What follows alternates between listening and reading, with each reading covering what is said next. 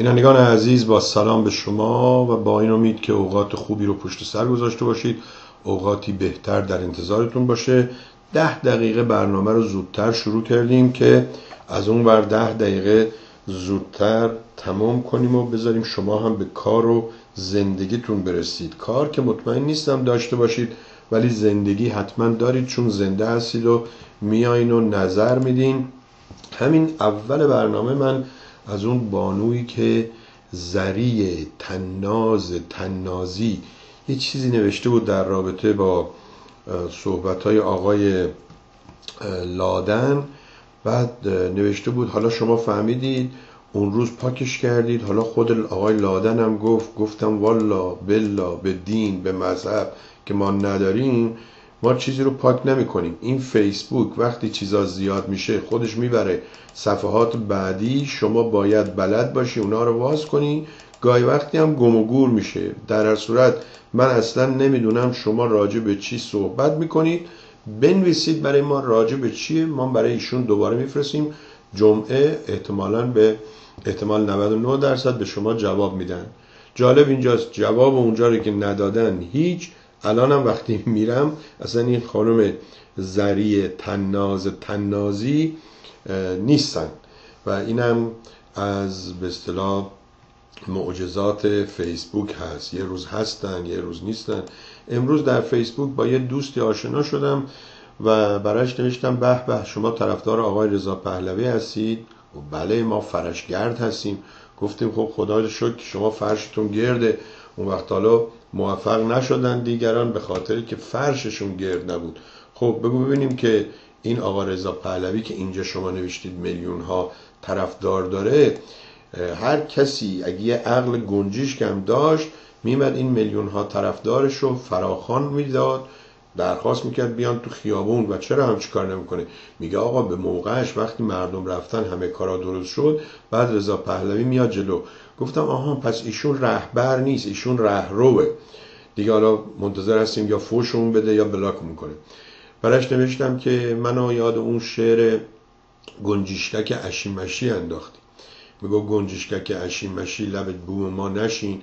نمی‌دونم برف میاد سردت میشه فلان. بعد کی میگیرتت؟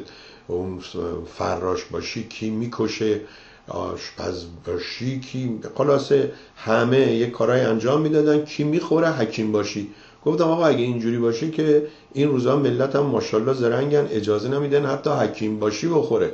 اگه بگیر و ببند و دستش بده به من خب همه میگن خب بده به من. در اصل حالا منتظریم ببینیم آقای این آقای رضا پهلوی منو یاد این گنجشگاه جوجه ها اینا که تو تخم هستن می‌ذاره. چیزی که هست اونا تخم 21 روزه میان بیرون یکیش 9 روزه میاد بیرون یکیش 9 ماهه میاد بیرون. ایشون 60 سالشه هنوز توی تخم و اینها هست تا بیاد بیرون و از این حالت دگردیسی. دگردیسی اونایی بود که دو نوع زندگی داشتن. تو آب زندگی می‌کرد بعد روی زمین میمد یا تو آب و تو زمین رو زمین می‌تونه زندگی کنه یا چرا اینایی که به اصطلاح هم رو زمین هم تو هوا نمیگن دگردیسی و اینها. یا دگردیسی اونایی بودن که با یه شکلی می اومدن یه شکل دیگه می‌شدن. در صورت آقای لادن شما نوشته بودید من نمی‌دونم ایشون چی میگه ناراحت نباشید. منم نمی‌دونم چی میگه بعد جالب اینجاست که خیلی از این دوستان خودشون هم نمی‌دونن چی میگن. ما امروز دوباره یه دوستی گفت آقا چرا این هفتاد 80 تایی که من اسمشون اینجا برای شما میفرستم با اینا یه گروه درست نمی‌کنی؟ گفتیم بابا گروه درست کردیم. ما ایرانیا هر جوری دلمون می‌خواد خودمون چیزها رو استفاده می‌کنیم و خراب می‌کنیم. گفت نه آقا شما گروه درست می‌کنی برنامه های مردم تلویزیون رو می‌ذاری رو مردم تیوی رو می‌ذاری رو چشمتون روز بعد نبینه حالا من بهتون نشون میدم. این گروه رو ما درست کردیم. اون یکی اومده میگه سلام حسن. اون یکی میگه سلام حسین. اون میگه حسین ننت چطوره؟ اون میگه حسین نه نه نمی‌دونم حسن ننم خوبه عمود چطوره؟ براشون نوشت آقا مجید اومده میگه آقا اگه اینجوری کنید ما تنها کاری که می‌تونیم بکنیم اینی که از این گروه بریم بیرون. چون اینکه نشد ما اینجا نشستیم همه دارن با هم حرف می‌زنن. چه فرقی می‌کنه؟ وقتی همه با هم می‌نویسن مثل این میمونه که همه دارن با هم حرف می‌زنن توی مجلسی. شاید مهمونی های ایرانی رو نگاه کنید هر دو نفری دارن با هم حرف می‌زنن. و قولتون میدم بعضی از اینا اصلا نمیشنفن اون بغلی چی میگه چون گوششون به یه جای دیگه هست حواسشون به یه جای دیگه هست اینه که به هیچ نتیجه نمی‌رسیم. باز آقای زعیم برای من فرستاده مصاحبه با سیامک دهقانپور مصاحبه با بی بی سی. میگم آقای زعیم این مصاحبه های تکراری خسته کننده چه فایده ای داره؟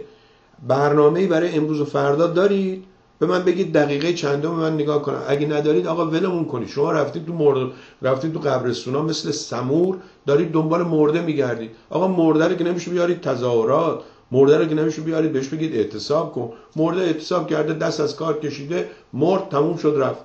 بریم دنبال برنامهمون. خب ببینیم آقای ابهری اینجا چی نوشته. میگه کاکو سلام سلام بعضی وقتا من فکر می‌کنم که خودم چیچی خلترین آدم دنیا هستم.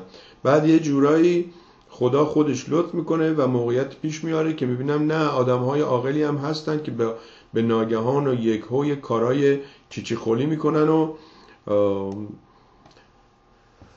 که من به خودم امیدوار میشم. تو که برای مردم فیسبوک داشتی و داری این چه کاری بود کردی که اومدی یک گروه دیگه تو مسنجر را انداختی؟ ها این همونه. آقا من اصلا نمی‌فهمم. شما هر کدومتون فکر می‌کنید واردید می‌فهمید بیاین به ما درس بدید. این مسنجر اصلا وجودش لازمش چی بود؟ شما اینو به من میگی؟ شما اینو به مردک صاحب فیسبوک بگو. بگو تو که فیسبوک داشتی مسنجر رو برای چیت می‌خواستی؟ از اونجا اگه شروع کنی درست میشه. مثلا نمی‌دونم این گروه که درست کنیم تو مسنجر کجاست. دوستان میگن درست کن میگیم چشم. دوستان میگن آقا عاجز شدیم میگیم خب پاکش می‌کنیم حالا شما بیا به من توضیح بده اتفاقا خیلی خوبه. این ماجرایی که شما گفتی من دارم از خودم یه روز سوال می‌کنم. حالا پتیک میگه من بهت گفتم آقا این فیسبوک رو بنداز سطل آشغالا. گوش ندادی. فیسبوک داره خودش پتیک ولی نمیره سراغش. شما نگاه کنید دوستان ما حالا صبح که میایم بگو ایمیل ها رو چک کردیم حالا میایم سراغ فیسبوکمون. واقعا باید چیکار کنیم؟ باید از این صفحه اصلیمون اینه. اینم من پاک کنم مال آقای ابهری. یعنی ببندمش. باید چه کار کنم؟ باید بیام روی timeline بعد برم روی about بعد برم روی friends بعد برم روی photo بعد برم روی آرشیو بعد برم روی بیشتر. یه وقتایی نگاه می‌کنم یا بیام این بالا. ببینید چقدر اینا هی گزینه گزینه گزینه گذاشتن. اینجا رو نوشته اسم خود من. اینجا رو نوشته home اینجا رو نوشته create آفرینش خلق کردن. خلق کردن چی؟ اینجا رو نوشته یکی دیگه چیه؟ friends request اینا بعد ببینید میگه friends request یعنی اونها از ما درخواست کردن. درسته؟ این بالا رو که می‌زنی بعد بالاش مینسه حالا مردم آدمایی که شما ممکنه بشناسید بعد برای اینا اگه فرستادی یادتون باشه شایان کاویانی چند مدت پیش موقعی که زنده بودا هستش هرچی بودش. گو آقا برای من مینسه اد فرند وقتی می‌زنم میگی شما بیخود فرستادی برای مردم حساب منو میبنده. گفتم آقا کامل بخون ببین چی نوشته. نوشته آدمایی که شما ممکنه بشناسی. You may. خب شما نمی‌شناسی یک کار اضافی گذاشتن. هی باید بشینی اینجا ریموو بزنی. ریموو ریموو ریموو ریموو ورشون داری دوباره select all یا see all یا هیچ. همینجوری. بعد حالا این create و فلان بعد میای حالا message یه message ی مثلا همین دوستان مردم TV فلان نوشته. اصلا الان پاکش می‌کنم آقا. یا این یکی دیگه زنگوله گذاشته notification این یکی دیگه نمی‌دونم علامت سوال کویک هلپ شما هلپ به خودتون بکنید هلپ به مغز عقب افتاده خودتون بکنید که دنیا رو به نابودی کشیدید. من چه هلپی از شما می‌خوام؟ 62 سال همینجوری زندگی کردیم بدون هلپ شما حالا میگذره این چهار پنج روز دیگه تا ببینید چی میشه. در هر صورت آقای ابهری نه عزیزم نه من واردم نه می‌دونم چی چیه و این مسنجر شما دوستان برات پیغام که میفرستن از توی فیسبوک نمی‌ذاره وازش کنی مگر اینکه مسنجر داشته باشی. اصلا واقعا این قیافای اینا رو نگاه کن یکی یکی. اون صاحب تسلا صاحب گوگل نمی‌دونم صاحب اینا. همشون مثل موجودات فضایی هستن. این پسر دیدی رفته سی تا تیشرت خریده. شما هر روز فکر می‌کنی همیشه با همون یه بلوزه. یا تیشرت یا زیرپیرنیه نه خیر. شاید هم والا تو همون یکی باشه. اصلا یه جورای عجیب غریبه هستن. حالا دنیا افتاده دست اینا. برای مردم رئیس جمهور انتخاب می‌کنن برای مردم انتخابات رو جابجا می‌کنن اخبار درست اخبار غلط. صحبت از رئیس جمهور شد. بریم سراغ دیوونه ترینش مال خودمون. اون یکی هم که تو ایرانه. شما که ایران هستید نظر بدید. من سالها گفتم آقا من سی و دو سال ایران سی و چهار سال شد. بله 1984 تا الانم 2018 سی و چهار سال من ایران نیستم. من دیگه هیچ حقی اونجا ندارم. حالا شما هر چی می‌خواین بگید. به همین خاطرم به خودم نه حق دخالت میدم نه چیزی. شما برید سهم منم مال شما. آقای اکبری میگه مسنجر فقط به خاطر این است که شاید من یک حرف خصوصی با شما داشته باشم از اون طریق بنویسم. بیشتر نه. نه من. اگه اینجور بود چرا group درست می‌کنه؟ بعدم اگه اینجور بود اون قسمت message شما قسمت message با مسنجر داری اشتباه می‌کنی. مسنجر یه کوفت دیگه است اصلا یه program دیگه است. توی برنامه کامپیوتری آیفون و اندروید و اینها یه اپلیکیشن دیگه است. و چرا این کارو می‌کنن؟ دقیقا همین که من و شما که دو نفریم دو تا اونجا باشیم اینا به این اون بگن ما چهار نفر رو داریم. یعنی ما رو تیک تیکی می‌کنن میفروشن. یه احمقی هم مثل من که یه زمانی دوازده تا صفحه فیسبوک داشت اینا به عنوان دوازده نفر از این اون پول می‌گیرن که آقا تو آگهی به ما بده ما اینو برای دوازده تا احمق میفرستیم. اون دوازده تا احمق کی بود؟ من بودم. چون دوازده بار برای من میومد باید یه جوری از اینجا خودمون نجات بدیم. دوست عزیز مسنجر برای پیام خصوصی نیست. اون قسمت مسیج پیام خصوصیه. اون قسمت کامنت و اینها پیام عمومیه. ولی این مسنجر یه کوفت و زهرمار دیگه است که جدا نمی‌دونم عقیده کی بوده درست شده ولی جزوی از فیسبوکه. اینم از این. خب. و اما روز دوشنبه من گفتم که این دوستمون خانم زنوسی می‌خواستن یه پیامی بفرستن. هرچی به این دوستان میگیم بابا جون سه دقیقه کافیه. اگرم کمه شما دوباره زنگ بزنید پیام بفرستید. میگن نه ما با تلگرام راحتی گفت راحت تریم گفتیم باش. ما برای که پیام ایشون رو کامل بگیریم تلگرام رو دوباره باز کردیم. باز کردن تلگرام همونو سیستم ما رو بلاک کرده بود. موزیک ایرانی پخش می‌کردن میذاش از هیچ دری از هیچ دیواری هم شما بری بیرون. وقتی تو برنامه اینو گفتیم یکی از دوستان گفت آقا تنها راهش اینه. نه این خیلی از پروگرام های دیگه که وقتی میان تو کامپیوترتون اون پشت این پتیک پیشنهاد داده آیا می‌دانید؟ حالا ما اینو به عنوان آیا می‌دانید امروز بگید آیا می‌دانید که این کامپیوترها وقتی میاد شما اون فوری می‌زنید من قبول می‌کنم؟ چه چیزایی رو قبول کردید؟ خدا می‌دونه. چند تا وکیل نشستن این نامه ها رو نوشتن که من و شما اگه بخونیم هم نمی‌فهمیم. حالا ما که نمی‌خونیم. امضا می‌کنی. میشه همین که بعدا چیزامونو میفروشن چیزای شخصیمونو میفروشن. شما برو یه جایی بگو کفش ورزشی می‌خوام. تا یه ماه دیگه از این ور اون ور برات آگهی میاد و از همه جا. تو ایمیلت میاد کنار نمی‌دونم یاهو مسنجرت میاد کنار برنامه میاد. امتحان کنید. همین الان که هستید یه جایی برای خودتون بنویسید که مثلا تو گوگل یا توی یاهو search یا توی ask.com یا توی بینگ بنویسید مثلا آهنگ Persian music بعد ببینید از کجاها براتون Persian music میاد. خلاصه گفت که راهش اینه چون اینا وقتی میان یه قسمتش شما می‌بینید یه قسمتش هم نمی‌بینید. اون پشته اون قسمتی که نمی‌بینید موقعی که اگر control alt delete بزنید اون task وقتی processor ها رو نگاه می‌کنی می‌بینی همه program ات خاموشه. ولی processor ت مثلا دو گیگابایت سه گیگابایت داره همینجوری نیرو مصرف می‌کنه یا زور می‌زنه. اینه که کامپیوترهای قدیمی که مثلا بعد 256 مگابایت رمش بوده یا 526 نمی‌دونم مگابایت رمش بوده یا یک حتی گیگابایت رمش بوده الان دیگه فایده نداره. الان نقل 32 و 16 و مینیممش 8 همینجوری دارن کار می‌کشن از کامپیوترتون اینها.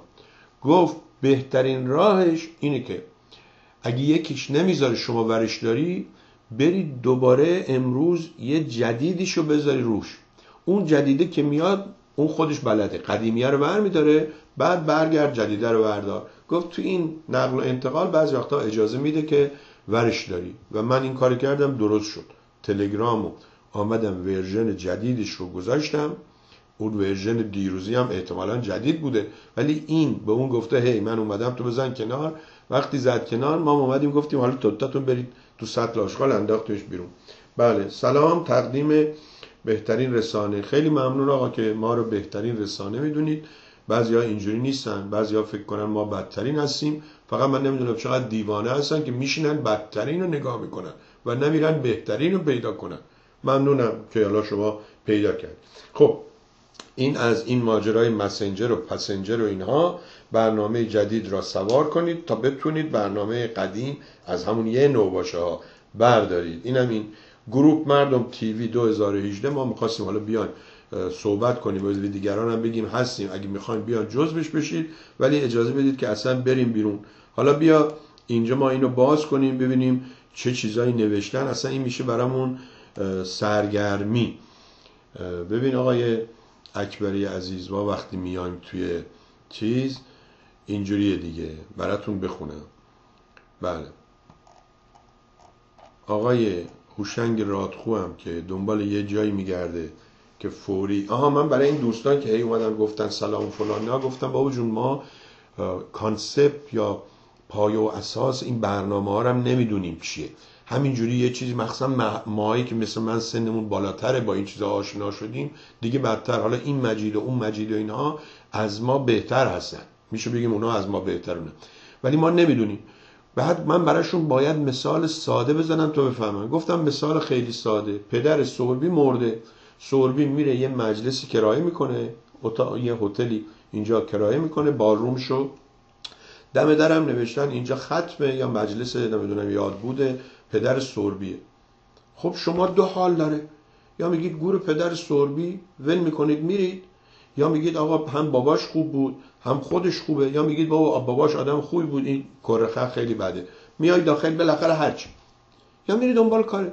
ولی اگه یه نفر احمق بلند شد آمد اونجا وقتی یه نفر داره صحبت می‌کنه که آقا این پدر سوربی خیلی آدم زحمت کشی بود. شما نگاهی به این سوربی نکن اینجوریه. ولی اون خوب بود. یه دفعه شما بلند شدی گفتی حالا که بابای سوربی مرد ولی مادر منم نمی‌دونم می‌خواد ازدواج کنه بیایم خب این مردم میخندن از شما. شما این کار داری می‌کنی.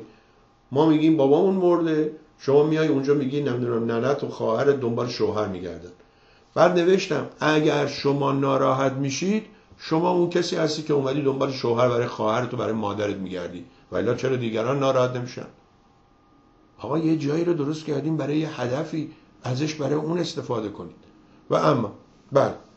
حالا بیاین اینجا ببینیم چیه خب آقا مجید نوشته با اجازه سوربی و دوستان یک کلیپ فرستادم چون جو زیادی سنگین شده بود. بله.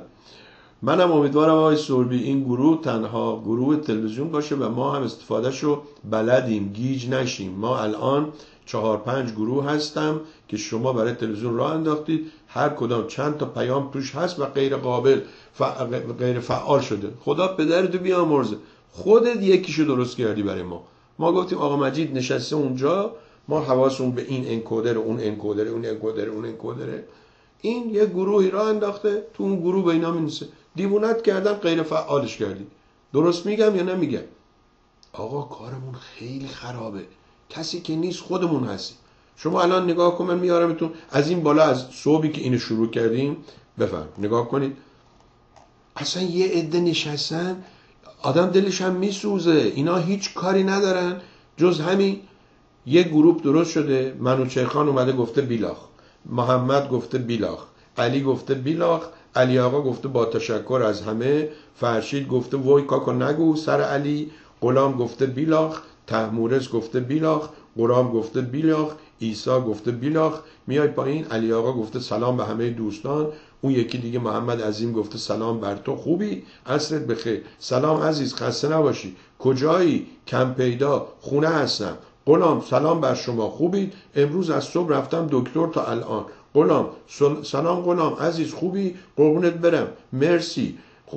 موسا گفت دیگه چه خبر؟ چی گفت؟ سلامتی درگیر هستیم. سر رفتن بیمارستان. OK. اوقات خوبی داشته باشید. شما هم همچنین.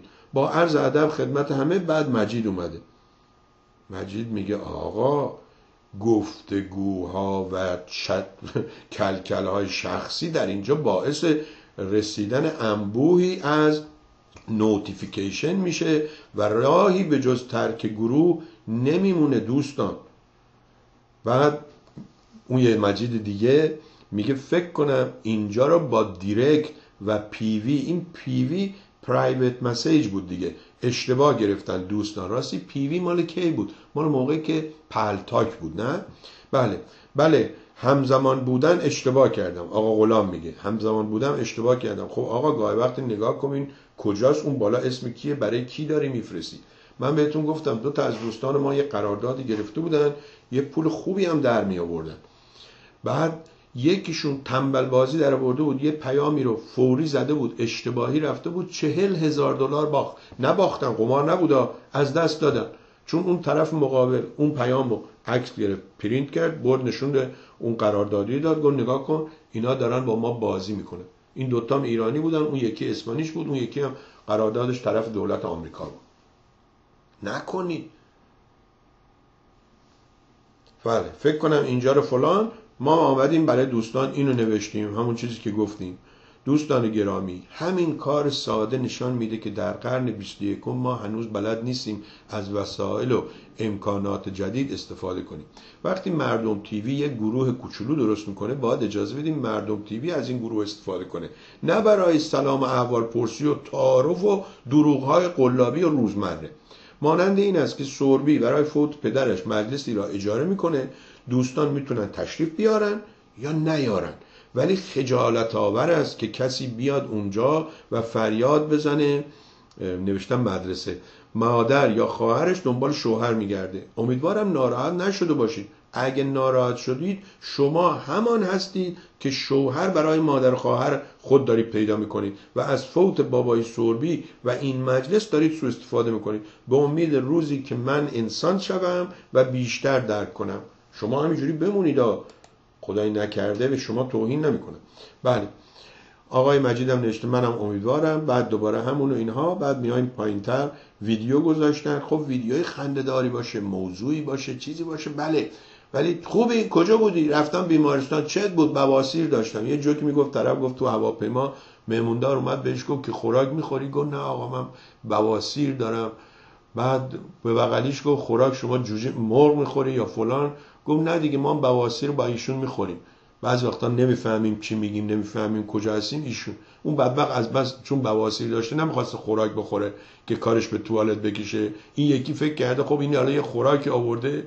اسمش هم بلد نبوده بواسیر. فکر کرده این اسم اروپایی گفته خوراک بهتر از این مرغ و فلان. کارمون خیلی خرابه. بعد مجید نوشتید پس از گفتگوی رضا پهلوی همراه با اعضای انجمن سیاسی فرشگرد توکا نیستانی یا نیستانی یا نیستانی؟ نیستانی کاریکاتوریست نامدار سیاسی کاریکاتوریست نسبتا ملایم و معناداری از رضا پهلوی ترسیم کرد. کاریکاتور زمیمه نکته قابل توجه این بود که هواداران نه همه آن عده تکبعدی واکنش بسیار سنگین همراه با کلمات رکیک در اینستاگرام تو به وجود آوردن در حالی که خود رضا پهلوی آنچنان واکنشی نشان نداد. این رضا پهلوی هم یه موزی زیر آب زیر کاه می‌گفتن آب زیر کاه مثل باباش مثلا شعبون بیمخ انداخت به جون مردم اینم شعبون بیمخ های اینترنتی داره. و کاریکاتوری که ایشون کشیده اینه که رضا پهلوی یک کلا رو گذاشته سر خودش ولی زیرش اینجوری شکل تاجه و هر جا باشه که دوست داشته باشه اینو ور میداره که ملت تاجش رو ببینن. احتمالا منظور اینه دیگه. بله. میگه که سوربی کلیک on the messenger in message group click on option then click on the leave the group. آقا نمی‌خوام leave the group. خود من درستش کردم. شما به من میگه آقا اگه طرف اومده اینجا تو مجلس مجلس فوت بابات میگه برای ماما درش می‌خواد شوهر پیدا کنه. برو بیرون. آقا نمی‌خوام برم بیرون. مجلس مال منه. من می‌خوام به اینا یه چیزی یاد بدم. می‌دونم میری اون بالا یه جاییش بالاخره اینا که این کوفتی ها مثلا اینقدر جا خالیه.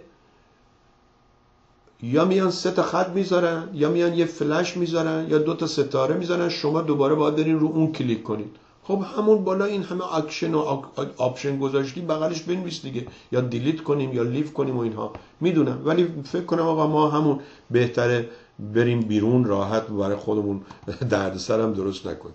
بله میکاکو کانال تلگرام تشکیل بده به جای فیسبوک چه خیلی راحت تره. و نه تنها کسی ترک نمی‌کنه بلکه نه آقا اونم درست کردم روز اول پنجاه و چند نفر اومدن. بعد آقا درد سرت ندم. الان الان دیگه ورش داشتم. ولی رفتم می‌دیدم آقا یکیش 1200 همین voice آمریکای کوفتی 1400 تا خبر. میگم شما تو برنامهتون از امروز تا فردا صبح یه مشت بنگی منگی چهار تا خبر درست حسابی نمیگین. ولی تو تلگرامتون 1200 تا خبر میفرسین خب دیوونه خونه است آقا. دیوونه خونه اگه دیوونه نباشه میشه خونه تنها. این خونه ها چجوری پر میشه؟ با دیوونه ها میشه دیوونه خونه. دیوونه خونه است. بعد شما اگه چهار نفر بشناسنه دیوانت می‌کنن. ما بدبخت اشتباه کردیم شدیم گاو پیشونی سفید دیگه. 20 سال این مردم ما رو می‌شناسن. اینستاگرام بری اینجوریه اگرم بخوای اونا رو هی بلاک کنی خب تو بلاک می‌کنی از دست میدی دیگه.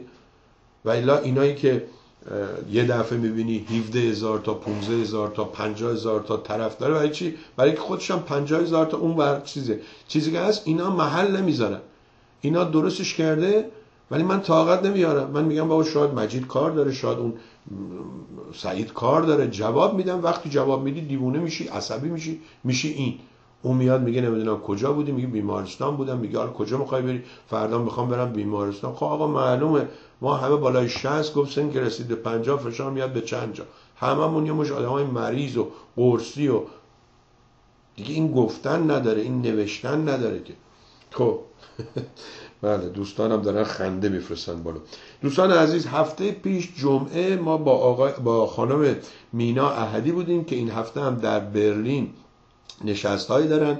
اگر ویدیوی چیزی برای ما بفرستین پخش می‌کنیم. از آقای بابک یزدی یا اون دوستان آقای محسن ابراهیمی یا خود خانم احدی اگه کسی ویدیویی از این برنامه داشته باشه ارسال کنید ما پخش می‌کنیم. این هفته جمعه ساعت چهار بعد از ظهر با آقای محسن ابراهیمی هستیم. من چند تا از ویدیوهای آقای محسن ابراهیمی رو دیدم.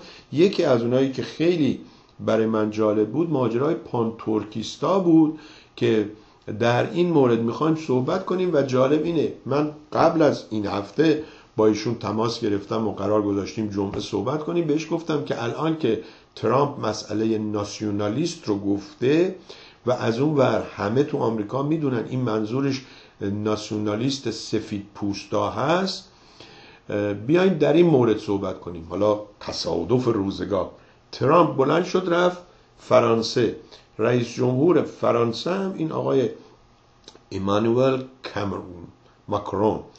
این هم یه آدم کم تجربه ایه بعدی حالا قربون صدقه با ترامپ اون دفعه رفتن نگاه نکنید. ترامپ اینو نمی‌خواست. ترامپ یه زن دیوونه ای بود شکل خود ترامپ هم بود. مثل اون دیوونه است وزیر امور خارجه انگلستان اینا همشون مثل که یه شکل اونو می‌خواست. خلاصه اونم اومد در همین باره صحبت کرد که این مسئله ناسیونالیست رو با وطن پرستی و میهن دوستی اشتباه نکنید. اینایی که زیر اسم ناسیونالیست سینه می‌زنن یه مشت آدمای نژاد پرستن حالا فارس می‌خواد باشه فارس باشه. ترک می‌خواد باشه ترک باشه. کرد می‌خواد باشه کرد باشه. لر می‌خواد باشه لر باشه. بلوچ می‌خواد باشه بلوچ باشه. آمریکایی می‌خواد باشه. مثل این خنگولا ترامپ باشه. باشه. اینا دروغ میگن. و الا پیتریزم پیتریزم یعنی وطن پرستی اونایی که میرن ثبت نام می‌کنن میرن جنگ. یکی و دوتا و ده تا صد نیستن. همین آمریکایی فوتبالیست پول میلیونیشو گذاشت کنار بلند شد رفت جنگ. اینا هم تقی زدن کشتنش. بعدم اومدن به دروغ به پدر مادرش یه داستان دیگه گفتن که الان دنبال داستان اصلیش هستن. میگن چرا خانم احدی آدرس محل اجرای برنامه را در برلین نداد؟ آقا آقای بابک یزدی گذاشت اون آدرس و اینها رو. بعدم چراهای دیگران را از من نپرسید. از خودشون بپرسید. کسی که اومده میگه جون من رو تهدید کردن یه دفعه هفته اولی که با ما آشنا شده حالا یه نفر میگه شما حالا کجا داری میری آدرس تو بده؟ خب منم باشم یه کمی احتیاط می‌کنم. ولی با همه اینها آقای یزدی وقتی من خواهش کردم اون روز نوشتن که کجا برلین چه برنامه و یک هم, باید شما بری دنبالش. همه چیزی رو نخوایم مثل این تیل گنجشگاه اون ماما گنجش براتون نرمش کنه بده. خب میگه کانال تلگرام فقط شما می‌تونی و کسانی که ادمین می‌کنی می‌تونن خبر بذارن. الباقی نظارگر هستن. شما کانال تلگرام بذاری و عده که اخبار خوب دارن را دستیار کنید. خوب میشه احتمالا. آقا این شما این زحمت رو برای ما بکش ما داریم. اصلا اون شما ول کن. همین امروز برو یه مردم TV درست کن. خودت امتحان کن. کاری نداره که هر کسی می‌تونه درست کن من اگه گذاشتم مردم TV شما بنویس مردم TV USA. اگه قبول نمی‌کنه بنویس مردم TV USA 2018 امتحان کن. کرد آقا اون آقای خوشنودی میگم تو اینجا این کار کرد بستش رفت. حالا شما تو تلگرام امتحان کن. ممنونم دست من نمی‌کشم آقا. من واقعا هم از لحاظ سنی هم از لحاظ فکری نمی‌کشم. دیگه برای ما هم مشکل این همه عوض شدن و اینها و بله. درون جناب سوری من نمی‌دونم برنامه خوب شما چه زمانی پخش میشه زحمت برایت دارم. یه نوتیفیکیشن ارسال فرما. رسم همشهری نیست. مانا به مهر شیراز با ریزش باران. والا نمی‌دونم آقای نگهبان. اینجا دو بعد از ظهر به وقت نیویورک شرق آمریکا. چرا میگم نیویورک؟ چون دو تا واشنگتن داریم. یکی واشنگتن یه منطقه کوچولو District of District of DC Columbia بهش میگن واشنگتن. یه واشنگتن داریم. اونوره که مال سیاتل. به همین خاطر سه ساعت خم... چون با هم اختلاف دارم من این برا میگم نیویورک دیگه نیویورک یکی هست و اشتباه هم نمیشه. شرق آمریکا ساعت دو بعد از ظهر هم الان شما روی کاغذی بنویس. دوشنبه چهارشنبه و شش شنبه که همون جمعه خودمون میشه. دو بعد از ظهر به وقت نیویورک تو ایران باشی ساعت تبدیل کن. این ساعت ها جلو عقب میشه تبدیل کن. من نمی‌دونم. حالا دیگه مهمم نیست. چه برنامه ای چه ساعتی زنده است. براتون میگم اون وقتا شما اگه سه شنبه شب هشت شب نمی‌رسیدی مراد برقی میمد یه فیلم لوس و نونوری اجرا می‌کرد می‌رفت تموم شده بود دیگه شما از دست داده بودی. این روزا که دی وی آر هست تی نمی‌دونم آرشیو و بایگانی هست کسی ور نمیداره این ویدیوها رو همه چی on demand ه. on demand یعنی چی؟ یعنی شما رفتی سر کار بعدش هم رفتی عرق خوری اومدی خونه امشب چون عرق زیاد خوردی خوابت نمی‌بره. سر موقع. می‌خوای بشینی یه فیلم نگاه کنی. شما اختیار داری که کدوم فیلم از اول شروع بشه. میشینی قشنگ هر برنامه رو بخوای هست. Voice of America اونجاست بی بی سی اونجاست اینا.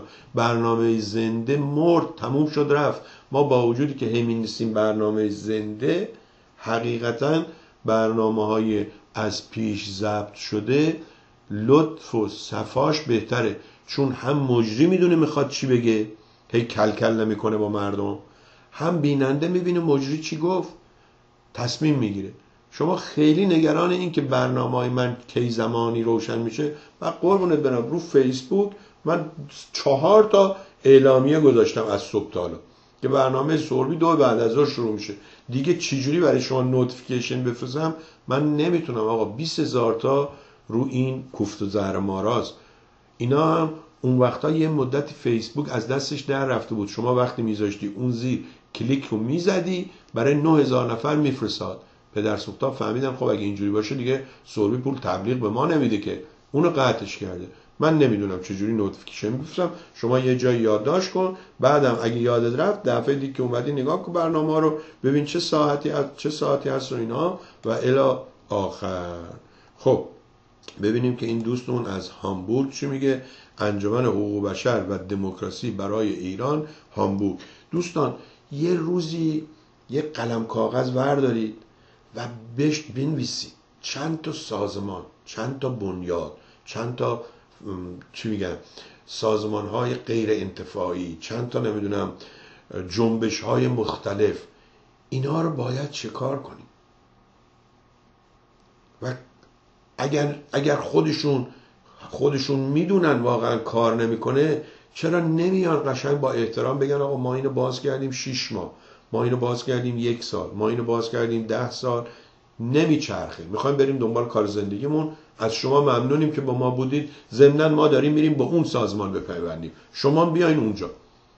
تا حالا یکی این کاری کرده؟ امروز میشه فرش کرد اون یکی میشه خرش کرد اون یکی میشه خورش کرد. فردا یه چیز دیگه. و این وسط هم یه مش آدم بیکار از همه بیکارتر این رضا پولوی دیگه به خاطر اون کسی که تلفن زده حتی نمیگم آقای رضا پهلوی میگم رضا پولوی هیکلش رو نگاه کنید از بس پلو خورده قبقبش و گوشش و سر و اینا پف کرده چسبیده به هم. بله. میگه هر لحظه می‌توانند برنامه شما را اگر ندیدید بعدا در یوتیوب ببینم. دقیقا بله خیلی ممنون. میگه که تلگرام was launched in 2013 by brothers Nikolai and Pavel Duru یا Durov and founded of per, per, per Russian Fulan, Russian largest social Fulan, Telegram Messenger LLP is an independent non-profit uh, company based in Berlin, Germany. این independent یک کمی روش حرف داریم نان پرافیت یک کمی روش حرف داریم نان پرافیت یعنی غیر انتفاعی. ایندیپندنت یعنی مستقل. واقعا اینا مستقلن. واقعا اینها برای منفعت کار نمی‌کنن. میاد شرکت نان این به اصطلاح نان پرافیت واز می‌کنه ولی حقوق خودش که جای دیگه 50 60 هزار دلار در ساله اینجا می‌کنه یه میلیون. چون وقتی حقوق می‌گیری رو حقوقت نباید social security بدی. یا non-profit هستی tax نمیدی. از این بهش اینجا میگن shell game به زبان فارسی پدرسوخته بازی. در هر صورت. اون history ش برای ما مهم نیست. مهم اینه که کارهایی که انجام میده اینا هر روزی هر جا رو دلشون خواست میبندن بایکوت می‌کنن. اگر الان مردم به وسیله تلگرام بخوان با هم تماس بگیرن راهپیمایی فراخوان بر علیه آخوندا اگه آخونده یه پول کلونی بده به تلگرام فوری میبندتش اون قسمت ایران رو. و تا حالا دیدید اون تلفن نوکیا بود چیزای دیگه بود. اینا اینجوری که ادعا می‌کنن مستقل نیستن. اینجوری که ادعا می‌کنن غیر انتفاعی نیستن و اینم یک چیزای دیگه ای شده که کلک بزنن به مردم. و چه باید کرد؟ من نمی‌دونم. این هفته جمعه ساعت چهار بعد از ظهر با آقای محسن ابراهیمی خواهیم بود و آقای لادن و کامنتش رو گفتم که آقا اصلا این خانم زرین تاز نمی‌دونم چی چی رفتش. و اما یه چند تا عکس گذاشتم اینجا. ما اون روز وقتی با آقای دکتر شهرام ایران بومی صحبت کردیم خب بعضی ها صحبت کردن. دوستون آقای اکبری از آلمان گفت بله اینجا اینجوریه. دوستان دیگه آمدن. ولی یه چیزایی جالبه. اولا بذارید من اینو بهتون نشون بدم. نگاه کنید اینجا. این خانومه اتفاقا خانم خیلی خوبی هم هست. عکسش و همه چیش هم گذاشته بود. با هم در تماس بودیم. یعنی می نویسه جواب میده. بعد بعضی از این دوستان وقتی مثلا می‌خوان مسافرت برن ایران میبندن حسابشون بعد که باز اومدن برمیگردن. بعضی ها میرن و میان بعد میگن حک شده. ایشون اینجا نوشته. اسمش هست زری تناز تنازی. به احتمال زیاد این اسم ساختنیه. بالاخره پس از چندین برنامه آقای امیر لادن خود ایشان به همان نظر و اندیشه در مورد ما ایرانیان در برنامه دیروز رسیدن که من در برنامه دوم ایشان کامنت به تلویزیون مردم نوشتم و شما با برداشت اشتباه از کامنتم پست کامنت مرا بلاک کردید. من منظورم به آنچه سالها و قرنها بر مردم ایران گذشته بود گذشته بود بوده و شما آن را به حساب آقای لادن گذاشتید. با, بردار با برداشت اشتباهتان پشت پست کامنت من را بلاک کردید. اگه خود شما عجولانه در چند سالی برداشت درست از نوشته ای ندارید گناه را به گردن شخص مقابل نیندازید. خورسندم و خوشنودم که دیشب آقای لادن به همان نظر من که در دومین برنامهشان داشتم رسیدن و به آن اعتراف کردم. من نوشتم من چیزی رو بر نداشتم. فیسبوک کامنت ها را بالا و پایین می‌کنه. بعد ایشون نوشته خب باورتون می‌کنم. خیلی هم خوب. باورمون کردن بعد از اونم وقتی ما رفتیم دیگه این اسم الان وجود نداره. این هم نتیجه باور کردن یکی از دوستان هموطن. باور که می‌کنن خودشون رو هم چیز می‌کنن. حید می‌کنن به قول معروف. دنباله این کاریکاتورای این رضا پولوی باز اینو بهتون نشون بدم که بذارید اینجا ببینم این میاد. بله کپچر. یک چهار به سه. اینجاست. این می‌خواد بگه ماجرای شاه که دست کمی از حزب ها ندارن. اینا خودشون آتش به اختیار هستن. نگاه کن عکس رضا پهلوی رو کشیده سمبل رضا پهلوی هم این دماغ بیبی بی توتیشه. چون به باباش هم می‌گفتن محمد دماغ. عکس رضا پهلوی رو کشیده نقاشیش کاریکاتورش رو نوشته پادشاهی پارلمانی. اون و اون احمقای تندرو میگن پادشاهی مطلقه نه یک کلمه زیاد نه یک کلمه کم. حالا باید بنویسن پادشاهی مطلق. چون اینجوری وقتی می مطلقه مثل اون کلمه مطلقه هم هست یعنی طلاق گرفته. مثل اون میشه. در صورت یکیش برگردیم. حالا اینجا ما خیلی استاد زبان فارسی نشیم. این رضا شاه این یکی آرپی اینم نگاه کنید که آقا رضا با این لباس های tuxedo با این دم درازش یه عده هم تو مغز این یعنی میگه تو مغز این رفراندوم و رأیگیریه ولی اینایی که پشت سرشن تاج گرفتن که بیان تاج بذارن رو سرش که من فکر نمی کنم فقط تو مغز اون اون باشه. این خودش هم دنبال تاج و تخت هست. فقط چون تنبل و ترسوه منتظر اونا برن بگیرن و سر ببرن و بپزن. این آقا از راه برسه و کباب کنه و بخوره. ساعت سه بعد از اون دوستان میبرمتون خلیج فارس. گفتار عقل بشر شماره 76 که برنامه ایشون جالبه درباره چیزایی صحبت می‌کنه. مثلا توی صحبت های امروزشون اتفاقا من رو زیر سوال بردن که چرا سوربی که اهواز خدمت کرده توی خونه ای که یک بیبی بی، یک خانم پیرزن عربی عرب زبان بود صاحبش بود به اصطلاح زندگی می‌کرده چرا دو کلمه یاد نگرفته که این طال عبدالله بود چی بود؟ طلب کلام یه چیزی اینجوری بود. و اون خشایار اون یکی اون یکی اینا کجا هستن؟ چرا اینجوری هستن؟ مردم چرا؟ آقا ما می‌رفتیم پادگان وقتی میمدیم مثل جنازه میافتادیم بعد یا باید به فکر خوراک درست کردن بودیم یا به فکر لباس تمیز کردن بودیم. ما که نرفته بودیم برای تفریح ما که نرفته بودیم اونجا برای دانشجویی و دانش آموختن یا فرهنگ شناسی. ما رفته بودیم اونجا که به اشتباه بهش می‌گفتن. خدمت وظیفه غلط بود. وظیفه موقعی که شما حقوق بگیر باشی. یه پولی بهت میدن شما یه وظیفه ای داری. این خدمت بود اصل خدمت هم غلط بود. چون باید با این همه پول که ایران داشت چه همون زمان چه این زمان به اینایی که میرن حقوق خوب بدن که طرف با ذوق با شوق بره. اونجا هم درس وطن پرستی اگه تو مدرسه ندادن اونجا شروع کنن درس وطن پرستی بدن. یکی از شما به من بگید که امروز که میگید جانم فدای ایران شما کی وطن پرست شدید؟ اینم یکی از معجزات این امامان بی خداست به آقای مینوی اون روز گفتم گفتم آقا شما به من بگو این آقای شجاع دین شفا که نه شجاع بود نه کسی رو شفا داد. این مردک چجور تا موقعی که شاه زنده بود دنبالش می‌رفت حج و می‌رفت این ور یه دفعه این آخونده که اومدن این شد پروفسور. خب اگر یکی جای آخونده باشه میگه امام ما نیستیم ما پیغمبریم. اینم معجزمون شما نگاه کنید و هفت سال اینا اولاغ بودن. ما یه شبه کردیمشون دانشمند کردیمشون اسلام شناس فولادوند برای رادیو تلویزیون ملی کار می‌کرده. وسایل رادیو تلویزیون ملی رو برمی داره میاد بیرون کش میره میدوزه دوربین و موربین و اینا رو میفروشه. بعدم وای میشه برای خودش پناهنده میشه بعدم میشه اسلام شناس چون زن عربی داشته عربی بلد بوده مردم هم این چون دو کلمه عربی می‌خونه فکر کنن این خدا.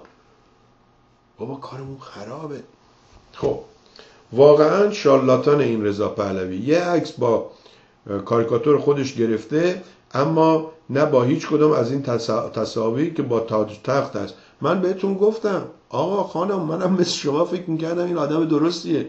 وقتی آمدم نزدیک دیدم واقعا اون ضرب المثل آواز دهل شنیدن از دور خوش است. اون از اونجا خوش بود. ما تا آلمان بودیم می‌تونستیم تحملش کنیم. وقتی اومدیم اینجا اون موقع می کوفتی همین ویرجینیا بود. یعنی الان رفته مریلند. باید یه نیم ساعتی تو ترافیک وایسیم تا از رودخونه رد بشیم. اون موقع همین بالا بود یعنی ربع ساعت. Great Falls زندگی می‌کرد همون خونه ای که گذاشته بودن نمی‌دونم گرو و بانک پول گرفت بودن و از این داستان های شالاتان بازی. بعد که اومدم اینجا دیدم اصلا این دنبال این کارا نیست. ولی هنوز هستن یه سری احمقی که میگن خب حالا ما میریم می‌گیریم میدیم. اونم نمیگن ما میریم. میگن مردم می‌گیرن. پرت... کارپت قرمز میندازن. این آقا میره روش راه میره. بله. وقتی ما برنامه آقای ایران بومی رو پخش کردیم و صحبت کردیم این دوستمون آقای سعید مدانلو چون آمده بود در قسمت عمومی نوشته بود من هم اینجا نشون میدم. نوشتن که روز مرد یک ایده ارتجایی و عقب افتاده است. جناب سوربی از ما هم دعوت کنید تا علیه این نظر عقب افتاده صحبت کنیم.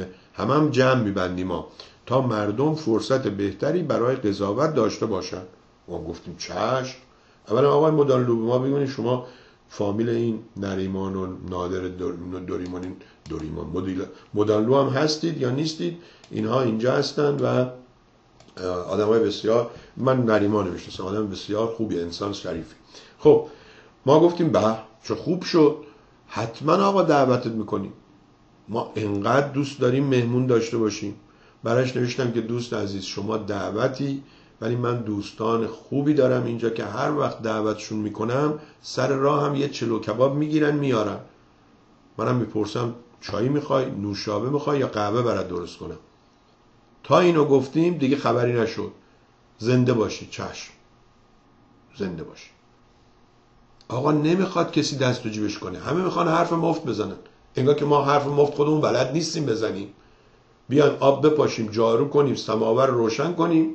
میکروفون بدیم دست اونا. بفرمایید آقا شما حرف مفت بزن. آقا من خودم استاد حرف مفتم. خب. بیا. سوال به این میگن آقای سوربی واقعا چرا فرهناز شکلش اینطوری شده؟ به سلطنت طلب ها هم گفته به من به سلطنت طلب ها هم گفتم به من فوش دادن. خب خداییش منم اگر دوست نبودم فوشت می‌دادم. می‌دونی چرا؟ آخه من چه می‌دونم چرا اینجوری شده؟ این همه آدم مریض تو دنیا هست. قیافهاشون عوض میشه. سیگار می‌کشن زرد میشن. مرض دارن خوراک می‌خورن میرن انگوش می‌زنن استفراغ می‌کنن لاغر میشن. من چه می‌دونم؟ اینم یک بدبخت مرضیه که خدا زجر بده به این فرای پهلوی. دو تا بچهش که خودکشی کردن این یکی هم با این قیافه جلوش باشه اون یکی عقب افتادم که رضا پهلوی اون دیگه از مرده هم بدتر. خب نظر من اینه با وجود که به خدا اطمینان ندارم زمانه و طبیعت دارن از این فرای پهلوی انتقام می‌گیرن. کسی که اومد شد زن شاه شاه رو با ریشه زد کاخ رو با ریشه زد حکومت پادشاهی رو از ریشه زد این شاید انتقامیه که اون پس میده. بعدم یکی از شما بپرسه آقا این سربی چرا قیافش اینجوریه؟ چرا هر وقت میره حمام موهاش اینجوری میشه؟ شما جوابی داری؟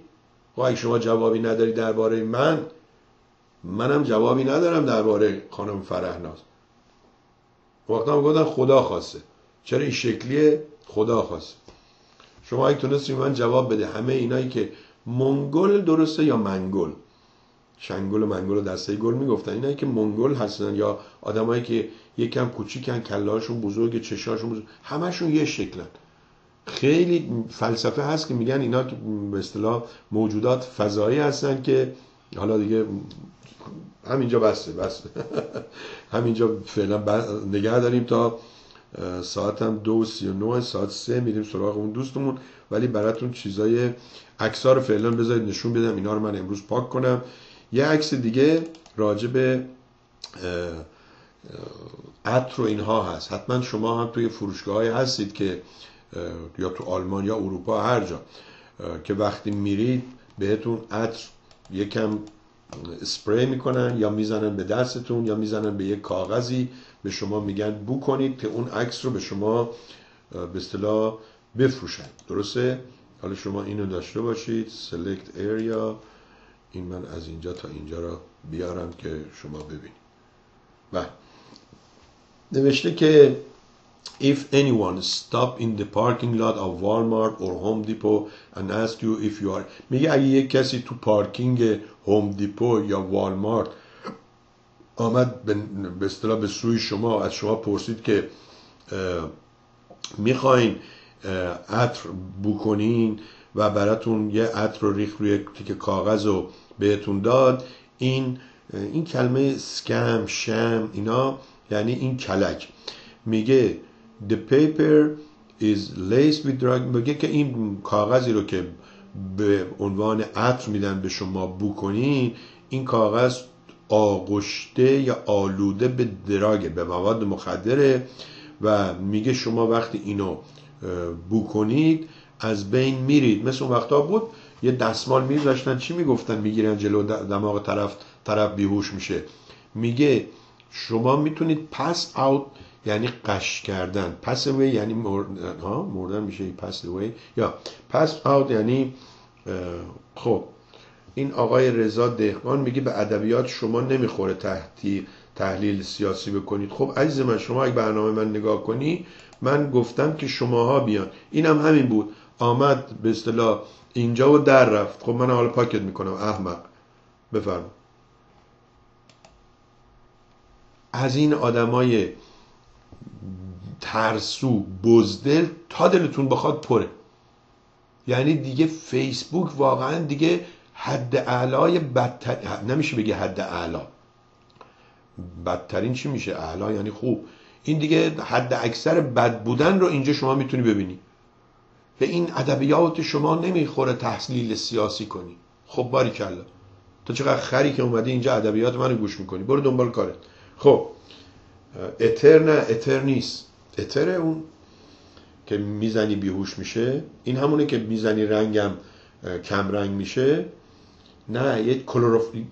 بگو یه چیز دیگه است اسمش. آقا مجید اذیت نکن.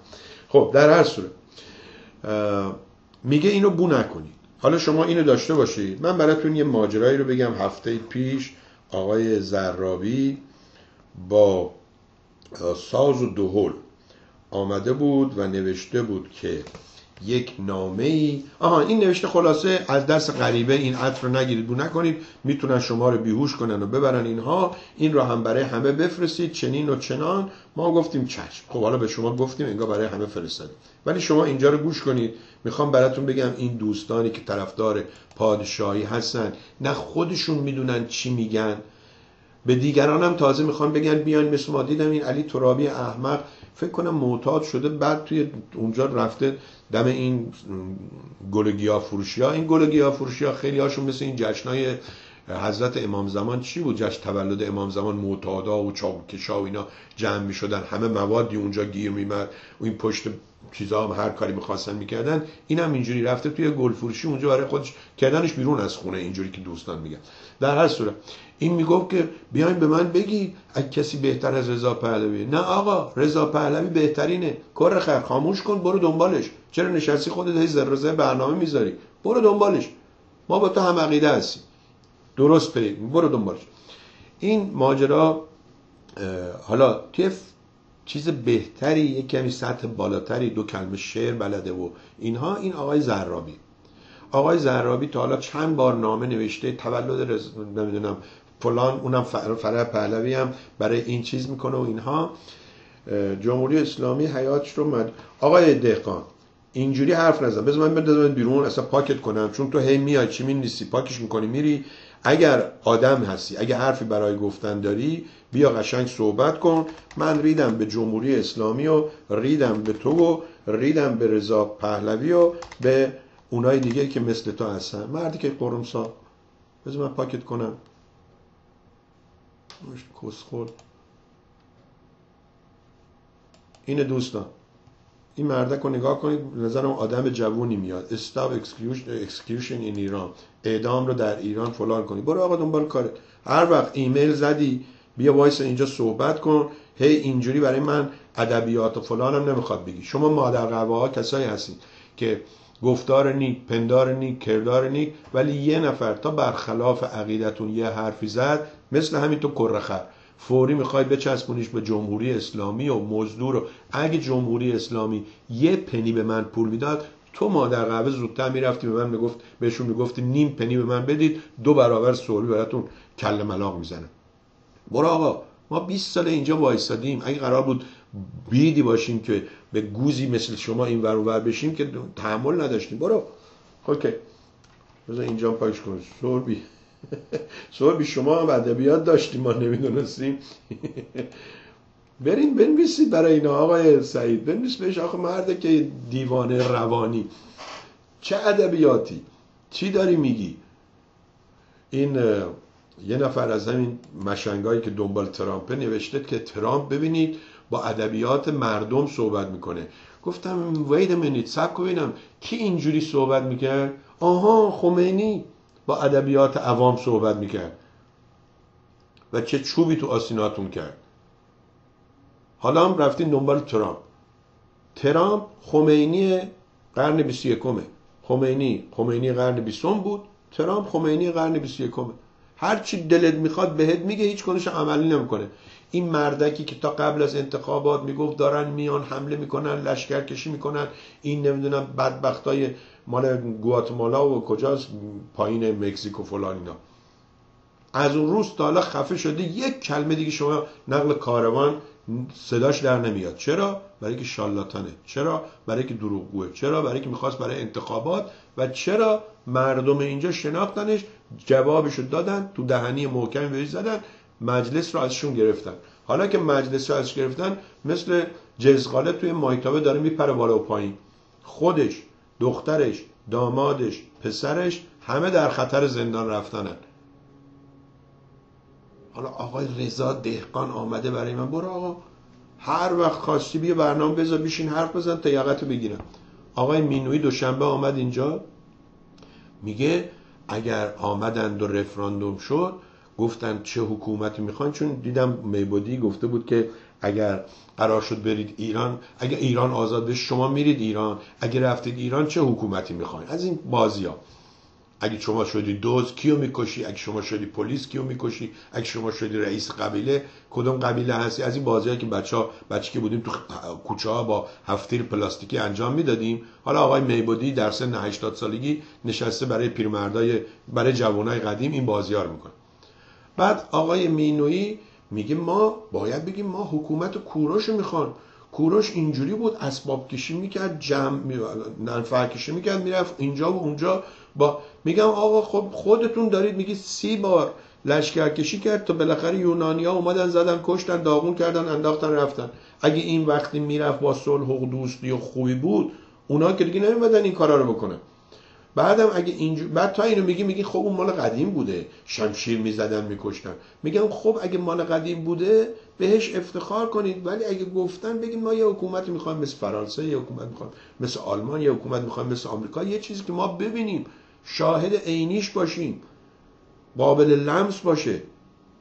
نه یه چیزی که کوروش یکی میگه نمی‌دونم اینجوری بوده یکی میگه پولدار بوده یکی میگه مثل کمونیستا همه چی رو تقسیم می‌کرده یکی میگه فلان. هر کسی از زن خود شد یار خود و از برای خودش هم داستان میگه. حالا شما هم بیا اینجا صحبت کن تا هزار نفر بیان بریزن رود بهت بگن که آقا این مزخرفات چیه میگی؟ این مردک دروغ میگه. خب مجید چه میخنده؟ کیف کرده؟ کله پا شده؟ اوکی. یازده دقیقه دیگه می‌برم خلیج فارس. بله. ترامپ پس از انتخابات میان دوره ای دیوانه تر و وحشی تر از قبل. دیدید؟ نگاه قیافش بکنید. رفته اونجا سر قبر آمریکاییایی که 100 سال پیش جونشون رو دادن که اروپا آزاد بمونه نرفته. اینجا پریروز یک شنبه باید دو، یک شنبه به جای دوشنبه. دوشنبه تعطیلیش بود یک شنبه روزیه که میرن به اصطلاح سر خاک وترن اونایی که توی ارتش های مختلف ارتش نیروهای مختلفش خدمت کردن ازشون قدردانی می‌کنن یادشون گرامی میدارن سر خاکشون گل می‌زنن. این مردک اینجام نرفت. بعد اونجا میگه بارون میومد. میگه بارون میومد هلیکوپتر جلوش نمی‌دید. باورتون میشه؟ این هلیکوپتر و هواپیما و اینایی که همشون با این دستگاه رادار اصلا می‌دونید که یه, یه تمرین قبلا اینجوری بود که چشم شما رو میبستن که به صلاح اگه شب تاریکه فلان اینها بتونی با اینا پرواز کنی. یعنی اینقدر تاریک که فقط با رادار بتونی هواپیما رو بشونی یا هلیکوپتر فلان. هلیکوپتر اینا که این همه دستگاه داره گفته بارون بود و مه بود ما نتونستیم بریم. خب مردک این همه آدم و مرد و زنای دیگه رهبرای دنیا چجوری رسیدن اونجا؟ از نتینیابوی اولاغ بگیر تا پوتین تا رئیس جمهور آلمان تا رئیس جمهور فرانسه. اینا چجوری رفتن و تو نتونستی فقط بری؟ عقب افتاده. تو که میگی از همه بیشتر می‌فهمی. خب اونجا پیشکشه. اینجا که اومدی کوفت زهرماری. اینجا چرا نرفتی؟ برای که آدم نیست دیوانه است. این زنه کم که همه فکر می‌کنن این زنه آخ, آخ. این این زنه که دیگه از خودش شیطون تره کسی که با شیطون بتونه سر کنه از خودش شیطون تره شروع کرده حالا تو چی میگن؟ اخراج کردن اینایی که تو کاخ سفید هستن و اینا چون حالا فهمیدن که یه عده دارن میان گزارش میدن چه خبره. نمی‌ذارن همینجوری که این مملکت از بین بره. یه ویدیویی رو گذاشتم رو فیسبوک برید ببینید. این آقای فراخان من خیلی خوشم نمیاد. چون هم مثل آخونداست فقط فوکل کراواتیه. ولی یه ویدیویی داره با مایک والاس سالها پیش راجع به نیجریه صحبت می‌کنه.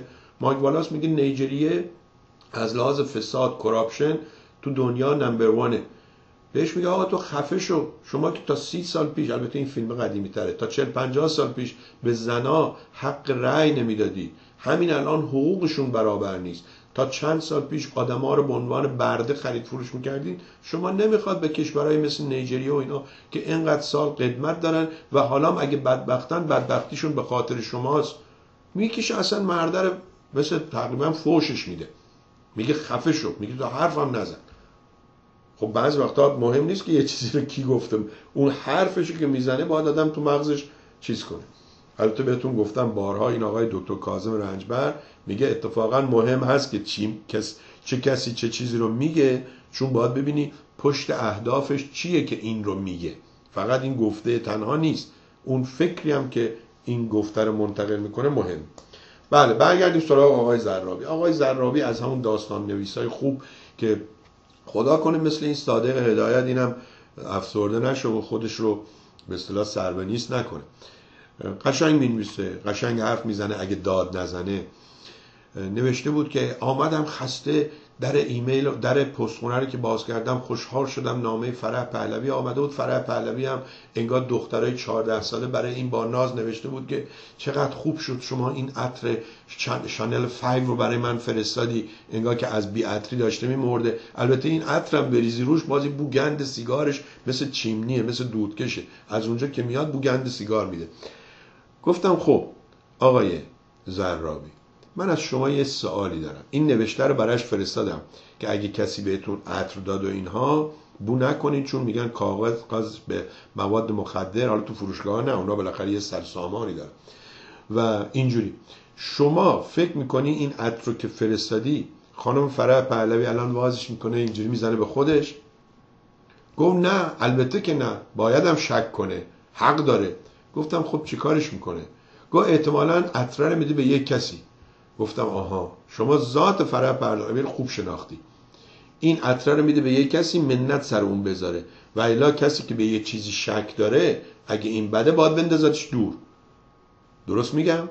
حالا آقای زرابی فکر کنم توش مونده. آقای زرابی شما چرا اینقدر زحمت کشیدی؟ یه چیزی رو فرستادی برای یه شخصی؟ که اگه شما طرفدار پادشاه هستی این شخص پادشاهی و پادشاه رو سر به نیست کرد. بعد خودت هم می‌دونی که این چیزی که برای این فرستادی و هزینه کردی این ماکسیمومش یا میدتش به یه کسی دیگه که ذات بعد خودش نشون میده نشون میده چیزی که خودش میترسه استفاده کنه که یه وقت اسید نباشه بزنه به صورتم صورتم سوراخ بشه میده به کلفتش مثلا. یا میده به دختر کلفتش. اوکی؟ پس این ذاتش بده. چیزی که بر خود نمیپسنده به دیگران میده. یا اینکه میندازه سطل آشغال هر دو شما در نظر می‌گیری. اگه اولی رو در نظر بگیری که کار بدی انجام دادی شما باعث شدی که این ذات بدش رو منتقل کنه و اینها.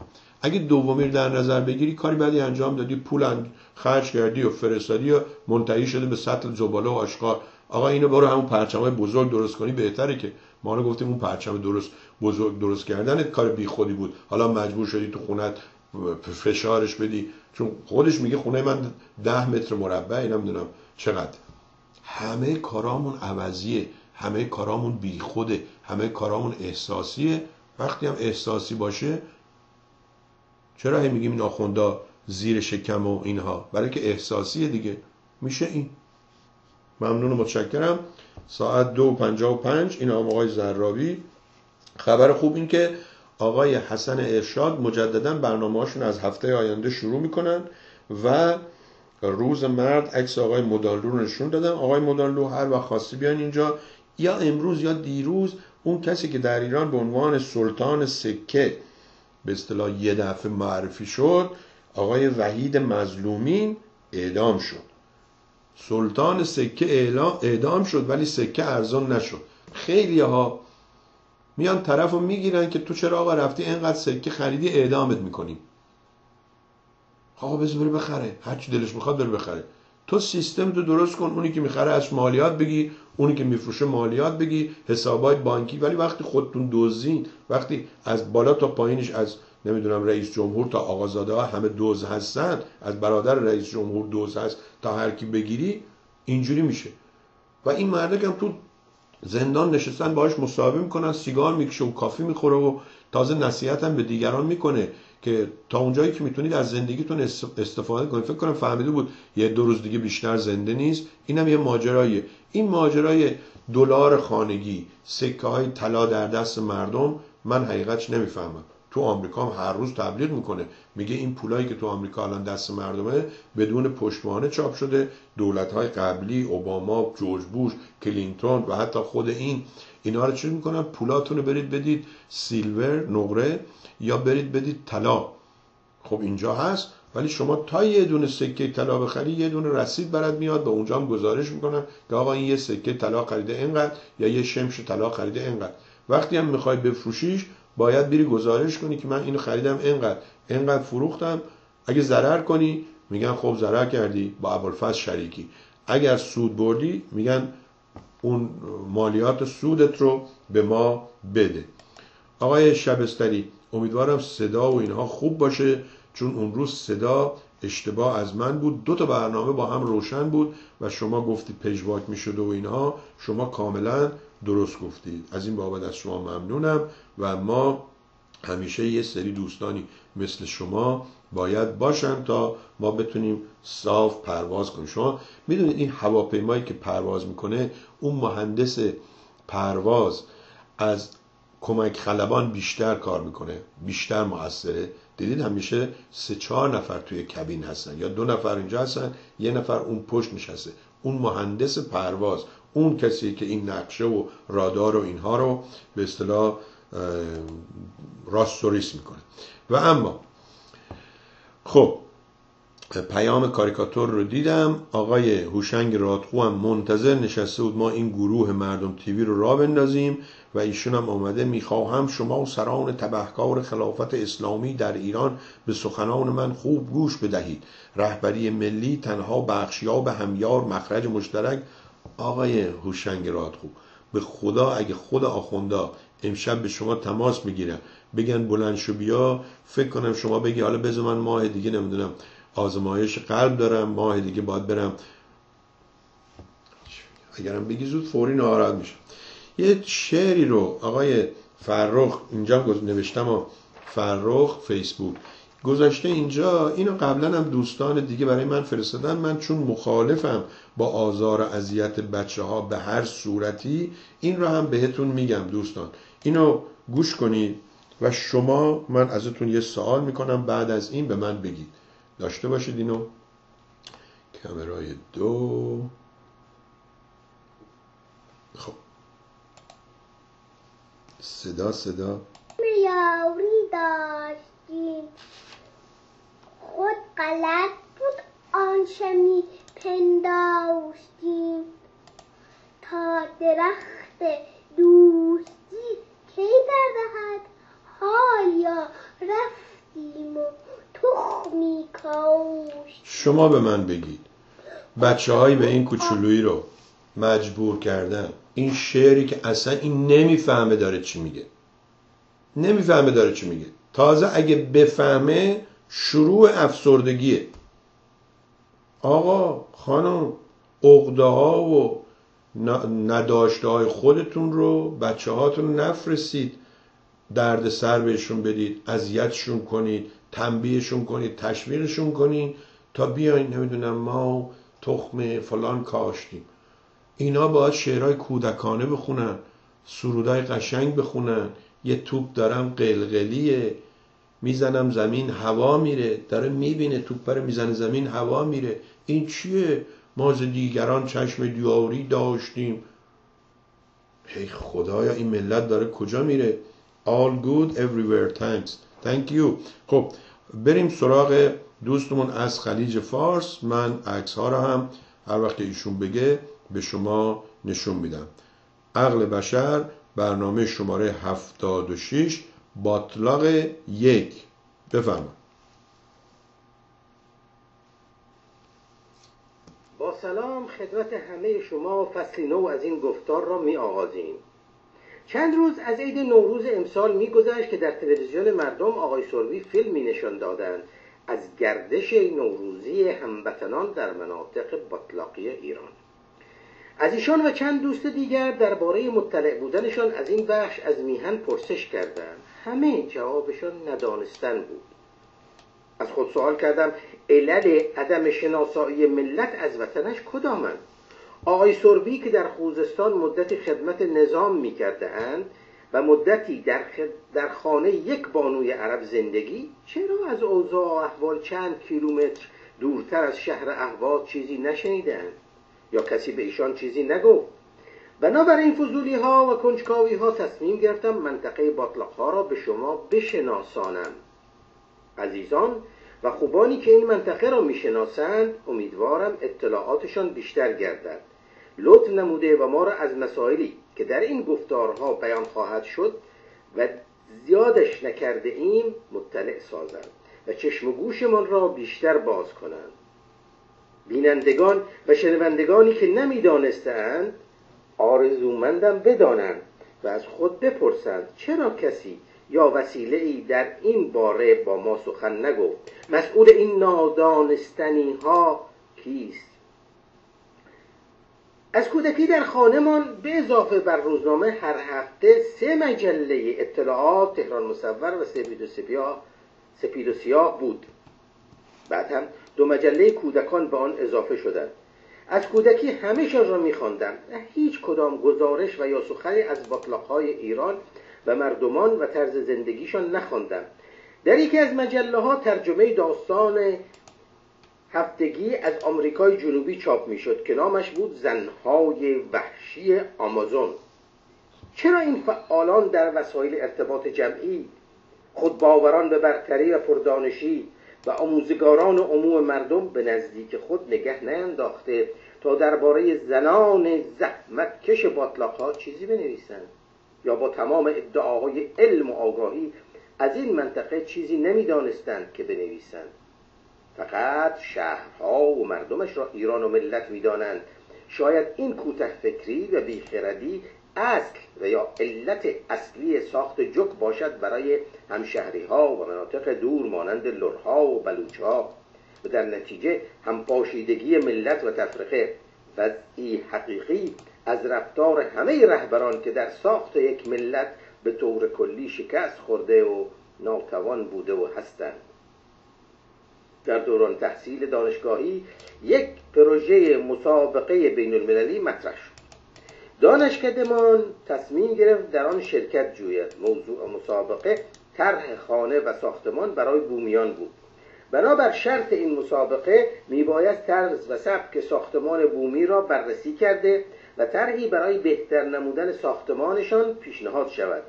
بدون اینکه در سبک اجتماعی تغییری صورت گیرد و از محیط محافظت و به شکل خود باقی بماند. در سالهای اول دانشجویی نقش کمک کننده در این مسابقه را داشتم. دانشجویان بزرگتر و پیشین کارکنان و فعالان در این مسابقه و تهیه کنندگان طرح و تهیه نقشه ها بودند. به مدت سه روز در همراهیشان به باطلاق سفر و در مطالعه و بررسی شرکت نمودم. بعدها بیشتر پیرامون باطلاق ها خواندم. در این گفتار و گفتار هفته های آینده به هر یک از مسائل محیط و زندگی این منطقه اجتماع و مردمانش پرداخته و با عکس های بسیاری شما را از همه مسائلش مطلع می سازم. پیش از آغازیدن این گفتار از صمیم وجود از زحمات آقای سربی که این عکس های بسیار را هنگام پخش صدا نشان می‌دهند سپاسگزاری می کنم تنها هدف ما انتقال دانش به شماست. اساس دگرگونی همین دانش می باشد اگر توان تهیه برنامه صدا و عکس را داشتم این زحمت را با آقای سربی نمی‌دادم. بایدم بدانید که عکس های خودم به شکل سلایت های رنگی است نمی‌دانم چگونه می شود با تکنیک های نوین آنها را به عکس تغییر داد تا به نمایش تلویزیونی درآیند. به همین علت از عکس های استفاده می کنم که از سایت های گوناگون جمع آوری کردم شما می توانید با مراجعه به منابعی که در ضمن گفتارها خواهد آمد بیشتر به اوضاع و احوال این باطلاق ها آشنا شوید. اگر علاقه به بیشتر فراگیری داشته باشید.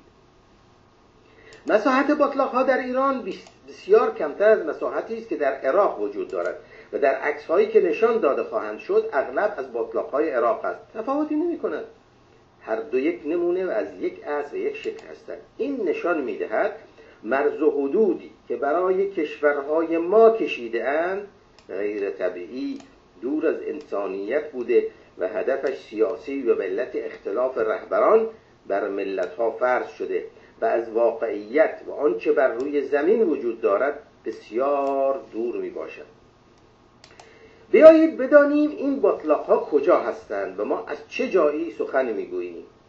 جناب سربی لطفا نقشه شماره یک را نشان دهید. این نقشه منطقه جنوب عراق در شمال کویت و غرب خوزستان را نشان می‌دهد. منطقه باطلاقی در اینجا قرار دارد. به علت گود بودن زمین در این مناطق آب رودهای دجله و فرات و دیگر رودها از هزاران سال پیش در این مناطق پخش شده و سپس به اروند رود یا شط العرب رفته و به خلیج فارس میریزد نقشه دو. در این نقشه سرزمین باطلاقا با دو دایره سرخرنگ نشان داده شده است. در مرکز این دایره ها بزرگترین و گودترین باطلاقا قرار دارند جاهایی که در نقشه با نقطه های آبی با نقطه های آبی رنگ نمایان هستند همهش باطلاق است. مساحت آبگیر باطلاق ها بنابر افزایش آب در منبع سیل سالانه و باران وسیعتر و یا هنگام خوشسالی کوچکتر می شود نقشه سه. در این نقشه مناطق باطلاقها بنا بر گودی با رنگ سبز مشخص شده اند. لطفا توجه کنید که سرزمین باطلاقها گسترده تر از مساحت سبز رنگ هستند. در نقشه های پسین بیشتر خواهید دید و خواهید دانست. نقشه چهار. این عکس از فضاست که باطلاقها را نشان می‌دهد. بر اساس همین عکس نقشه پیشین تهیه شده. باطلاق های باختر خوزستان که در سرزمین ایران وجود دارند به خوبی در بخش راست این نقشه دیده می شوند نقشه پنج. این نقشه مساحت کلی باطلاق ها را نشان می دهد همینطور که می بینید عمیقترین آن در میان عراق و ایران قرار دارد. در بالای سمت راست باطلاقی در بالای سمت راست باطلاقی می بینید که نامش در زیر رنگ سبز نوشته شده و هویزه نام دارد که بزرگترین و عمیقترین است. این همان جایی است که هموطنان ما برای گردش در روزهای تعطیل عید نوروز به آنجا رفته بودند. نام هویزه را فراموش نکنید. در زبان انگلیسی نام باطلاق نوشته شده که آن را marshes می‌خوانند. با تایپ Arab marshes و یا marshes of Iraq در اینترنت یوتیوب جستجو و بیشتر بدانید. در زبان عربی به باطلاق هور می‌گویند و جمعش می‌شود اهوار. می توانید با تایپ اهوار العراق بیشتر ببینید.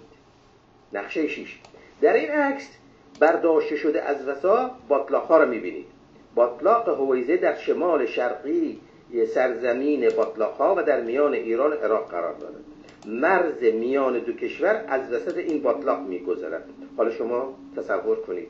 چگونه می شود این مرز را شناخت و مردمانش را از انتقال میان دو کشور ممنوع کرد؟ با نمایش این نقشه ها تصور کنم شما به آسانی و خوبی با جا و موقعیت این باطلاق ها آشنا شدید مساحت زمین باطلاق ها کم نیست. از کشور کویت بزرگتر است. چرا کسی آن را به ما نشناساند؟ سوالی است که میباید از سردمداران زنده زمان شاهنشاهی و همچنین امام برسران کنونی جمهوری اسلامی کرد. بخش دیگر این گفتار شناسایی این منطقه است. با نمایش عکسهایی شما به دیدن منظرهای این ها آشنا می‌شوید. تا بدانید بر روی زمین و دور از فضا در این ها مردم در کجا هستند. اوضاع و کاشانشان به چه شکلی است؟ آقای سروی لطفا این عکس را به ترتیب و بدون توقف نشان دهید. در این عکس ها که از بلندی و سطح معمولی گرفته شده به محیط این باطلاق ها و طرز زندگانی مردم آشنا می شوید که همهشان در میان آب زندگی می کنند با آمیزش در طبیعت و بدون تحمل مخارجی خانه هایشان از هر سو بر آب گشوده می شود و خوشمنظره آب را می بینند در تاریخ کهن و هزاران سال محیطشان به علت محاصره بودن با آب از آزردگی های جنگ و طمعهای فرماندهان و گزندشان دور بوده و در میان خود یک زندگی نمونه و یک ساخت و یکتا ساختند پخش بودن خانه ها بدون رعایت خط معین و یک ردیف بودن آز... یک ردیف بودن زندگی کردن خودکفایی محیطشان است که آنان را از خارج و بیگانه بینیاز می نماید یکا یک مسائل این باطلاق ها را برای شما شرحیده و به اطلاعتان خواهم رساند. ملاحظه فرمایید در این باطلاق ها درخت بسیار کم است. محصول سبز آنان نی است.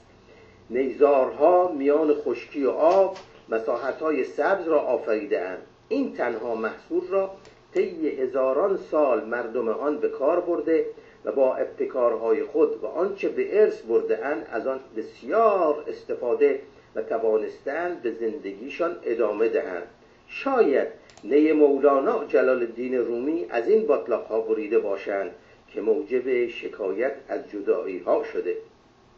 اغلب اطلاعات منتشر شده از این باطلاق ها توسط خارجیان نوشته شده. تصور فرمایید یک خارجی با طی کردن هزاران کیلومتر و تحمل مشقت سفر به این سرزمین دشوار و در جامانده در هزاران سال پیش می‌بیند و می‌نویسد.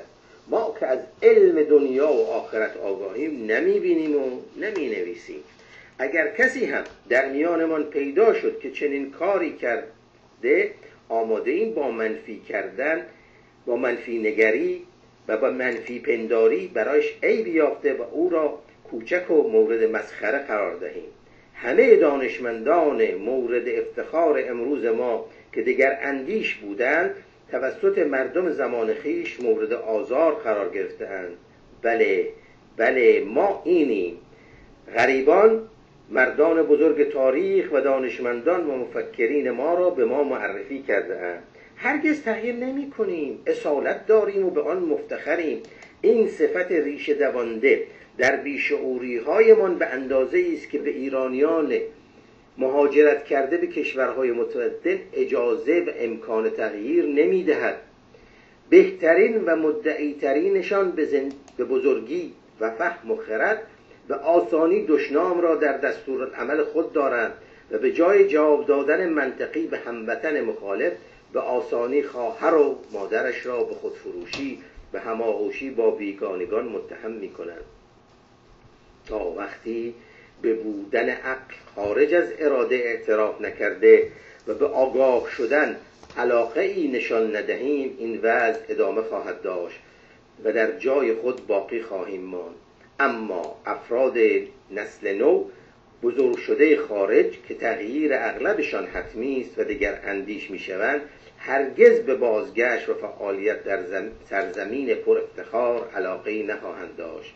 این اندیشه ها و وضع خراب و دونده به سوی خرابی بیشتر مرا چنین ناامید و افسرده کرده که نه فقط برای ایران بلکه همه منطقه امیدی به تغییر و بهتر شدن ندارم. امیدوارم اشتباه کرده باشم. با دیدن این عکس ها شما را به یکی از محیط های باستانی و باقی مانده انسان بر روی این کره که بخشی از آن در میهنمان قرار دارد آشنا کردیم. به علت دوری از جنگ و خرابی در گذشته زیبایی بینظیر باطلاقها در جاهایی تا حال مانند گذشته دست نخورده باقی مانده و انسانها هنوز در آن زندگی می کنند برخی از خارجیان که این باطلاقها را سیاحت کرده اند به آن ونیس خاورمیانه و یا ونیس مشرق زمین نام نهاده اند. نادانی ما به درک توانها و منابعمان و این نامگذاری و عدم استفاده از این باطلاقها موضوع گفتاری در آینده خواهد بود. عکس های سفید و سیاه نشانگر عدم تغییر این محیط در طی سالیان است. به اضافه بر زیبایی این باطلاق در روز غروب و شبش هم با با رنگ آمیزی آسمان و درخشش ماه و منعکس شدنش بر روی آب یک نقاشی طبیعی را می آفریند که بسیاری از هنرمندان را جذب کرده و زیبایی طبیعت را با قلم موی خود برای همیشه زنده نگاه داشتهاند. آقای سربی لطفا عکس های نقاشی یک و دو را نشان دهید. نمایی نقاشان با دیدن زیبایی باطلاق ها شعلور می شود دو نمونه از کارشان را نشان می دهیم نقاشی های بسیاری از محیط باطلاق و زندگی بومیانش کشیده شده و در نمایشگاه های جهان در معرض خریداران قرار گرفته است. آرزومندم نخستین گفتار درباره باطلاق شما را به تشویقت که بیشتر به اطلاعید به آگاهید و در برنامه های هفته آینده یک بخش از میهن نشناخته را بهتر بشناسید. و شاد و شادکام باشید خب خیلی ممنون از این دوستمون. ببخشید که یکم عکس ها رو من با شمارش و اینها می‌بینید. الان این تصویری هم که شماره تلفن گذاشتیم فریز شده و این هم همون یکی از اشکالاتی هست که وقتی دست تنها هستی پیش میاد و اگر یک کسی بود تکنیشیانی یعنی اون کمک می‌کرد. من دو تا صحبت تو این برنامه شد یکی اینکه ایشون گفت من عکسایی دارم که به صورت اسلاید هستن. توی اونها به اصطلاح اسلاید ها رنگی هستن و من چون دستگاهی ندارم که این اسلاید ها رو تبدیل کنم به عکس مجبورم عکس ها رو از جای دیگه بگیرم که بعضی وقتا عکس ها سیاه سفید هستن. هستن دستگاهایی که شما اسلاید بهشون می‌دید و اونها اون براتون عکس پرینت می‌کنن. حتی این پرینترهای خیلی ارزون این روزا این کار انجام میده. اسلاید یا فیلم قدیمی هم شما بهش بدین براتون عکس چاپ می‌کنن. در این پرینتر اومده شما می‌خرید 50 دلار اصلا از تو تلفنت مستقیما عکس رو می‌گیره. از از اون شرکت هایی که قبلا عکس چاپ می‌کردن بهتر و قشنگتر به شما عکس رو به تحویل میده. و ماجرای این که چرا سوربی مثلا یاد نگرفته اونجا خب براتون گفتم وقتی شما رو میفرستن توی جایی که قریب هستی یه جوری شما به زور رفتی اونجا همش فکری هستی که کی در بعضی اصلا رو اتاقشون روی دفتری مینوشتن مثل این زندانیا خلاصه هر روز خط میکشیدن و روز شماری که میگن به اصطلاح روز شماری می‌کردن و به نظر من قرارم نیست که دولت همه چیز رو به ما یاد بده. یعنی با وجود که شما داری الان از دولت گذشته انتقاد می‌کنی قرار نیست دولت همه چیز رو ما یاد بده. اگه اینجوری بود شما وقتی دیپلم می‌گرفتی میمدی بیرون دیگه مادر همه علم ها بودی یه چی میگن دایره المعارف بودی. نه اونجا بله میشه بگی چرا ما رو یه مقدار باهاش آشنا نکردن که علاقه ای اگه داریم اونجا اون علاقه بروز کنه. اگر شما رو یه روز یه تور ببرن اینجا بچه ها رو می‌برن بهش میگن field trip این اتوبوس ها دیدی مدرسه تعطیل ساعت 8 9 شب یا از مسابقه بسکت میان یا از جاهای دیگه میان. میبرنشون سر مزرعه میبرنشون ادارات مختلف. اونجا بچه ها جذب میشن. خب اینا کوتاهی بود. ولی اینکه چرا منی که اونجا بودم با تمام چیزایی که ممکن بود اونجا باشه آشنا نبودم اصلا ما شبان روز تو این فکر بودیم که کی میشه از اینجا در بریم بریم با آقای رابه مال چیزم بود. بگید. حالا شما گفتید اون کوت عبدالله بود. شما گفتید هویزه یاد کوت عبدالله افتادم.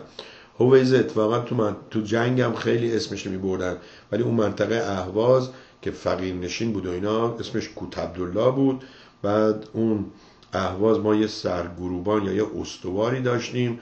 آدم بسیار خوبی بود. ولی خب بالاخره اینا هم یاد گرفته بودن اونجا رشوه بگیرن.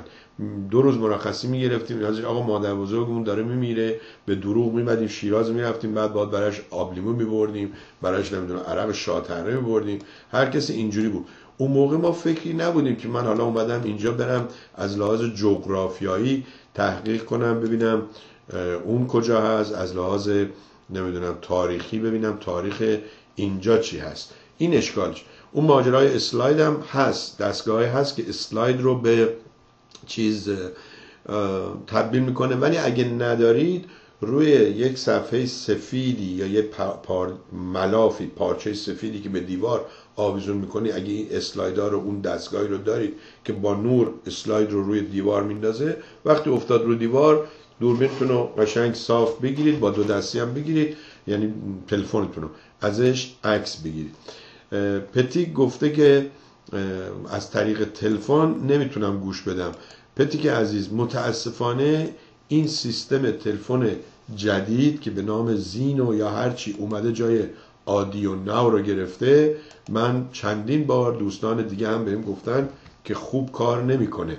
و ما گفتیم خب حالا به جایی که همیشه روشن باشه بیایم بذاریم فقط مواقعی که برنامه زنده داریم ولی به نظر می‌رسه اون موقع هم کار نمی‌کنه. متاسفم. یا شما باید از فیسبوک یا از یوتیوب یا از مردم TV dot com ما رو به صورت زنده تماشا کنی. اگه این ستا data زیاد می‌گیره یا connection ت وصل نیست یا نمیشه باید صبر کنی و به صورت کتلت مونده یا خوراک یک شب مونده از وقتا خیلی خوشمزه تر بود. این از این. سعید میگه که در مورد اعدام سلطان سکه خرید سکه طلا محدودیت قانونی ندارد. وقتی اسکناس بدون پشتوانه طلا چاپ میشه هر کس عاقل باشه یا کمی اقتصاد بدونه پولش رو میده طلا می‌خره که ارزش داراییش کمتر و کمتر نشه. کجای این کار خلاف است؟ جایی که دولت هم محدودیت خرید نگذاشته بوده ایشان شرکتی داشته که بسیار عاقلانه سهم شرکا را تضمین کرده. کاری که شرکت های وال استریت می‌کنن بالا بردن ارزش سهام. تا اونجایی که اسم شرکت های وال استریت نیاورده بودی کلاهمون با کلاه شما تو هم نمی‌رفت. ولی اینجا تا گفتی وال استریت دوست عزیز یادت باشه وال استریت بعضی وقتا جرم بزرگی هم هست. وقتی که این inside information رد و بدل می‌کنن تا می‌فهمن فلان شرکت می‌خواد بیاد پایین چیزاشو به اصطلاح خودشون و خانوادهشون و همون طوری که شما میگی شرکا میفروشن. در صورت فکر نمی‌کنم به همین کشتی هم باشه که اونا هم بتونن یه نفر رو بگیرن. اولا این آقا اگه انقدر زرنگ بوده خرید طلا و شرکتش رو چیز کنه و اینها سهم سهم سهامداران رو زمانت کنه. خب اون شرکت اصلیش چی بوده؟ شرکت اصلیش چی بوده؟ کارخونه داشته؟ وقتی شما کارخونه داری که نمیری طلا بخری. اصلا یه چیزی پشت این ماجرا هست که من نمی‌دونم. شما هم اگه تحقیق کنی خبرش رو من بدی بیشتر ازت ممنون و متشکر میشم. این هم گفتار عقل بشر و این ماجرا بله این منطقه مثل ونیز بود و خود من تا چند سال پیش اصلا نمی‌دونستم که یک مناطقی مثلا ما اون مرداب پهلوی رو در شمال می‌دونستیم جای بسیار زیباییه ولی مردم اینجوری توش زندگی نمی‌کردن. برای پرنده ها و حیوانات دریایی و اینها بود. حالا اینجام هست میرن.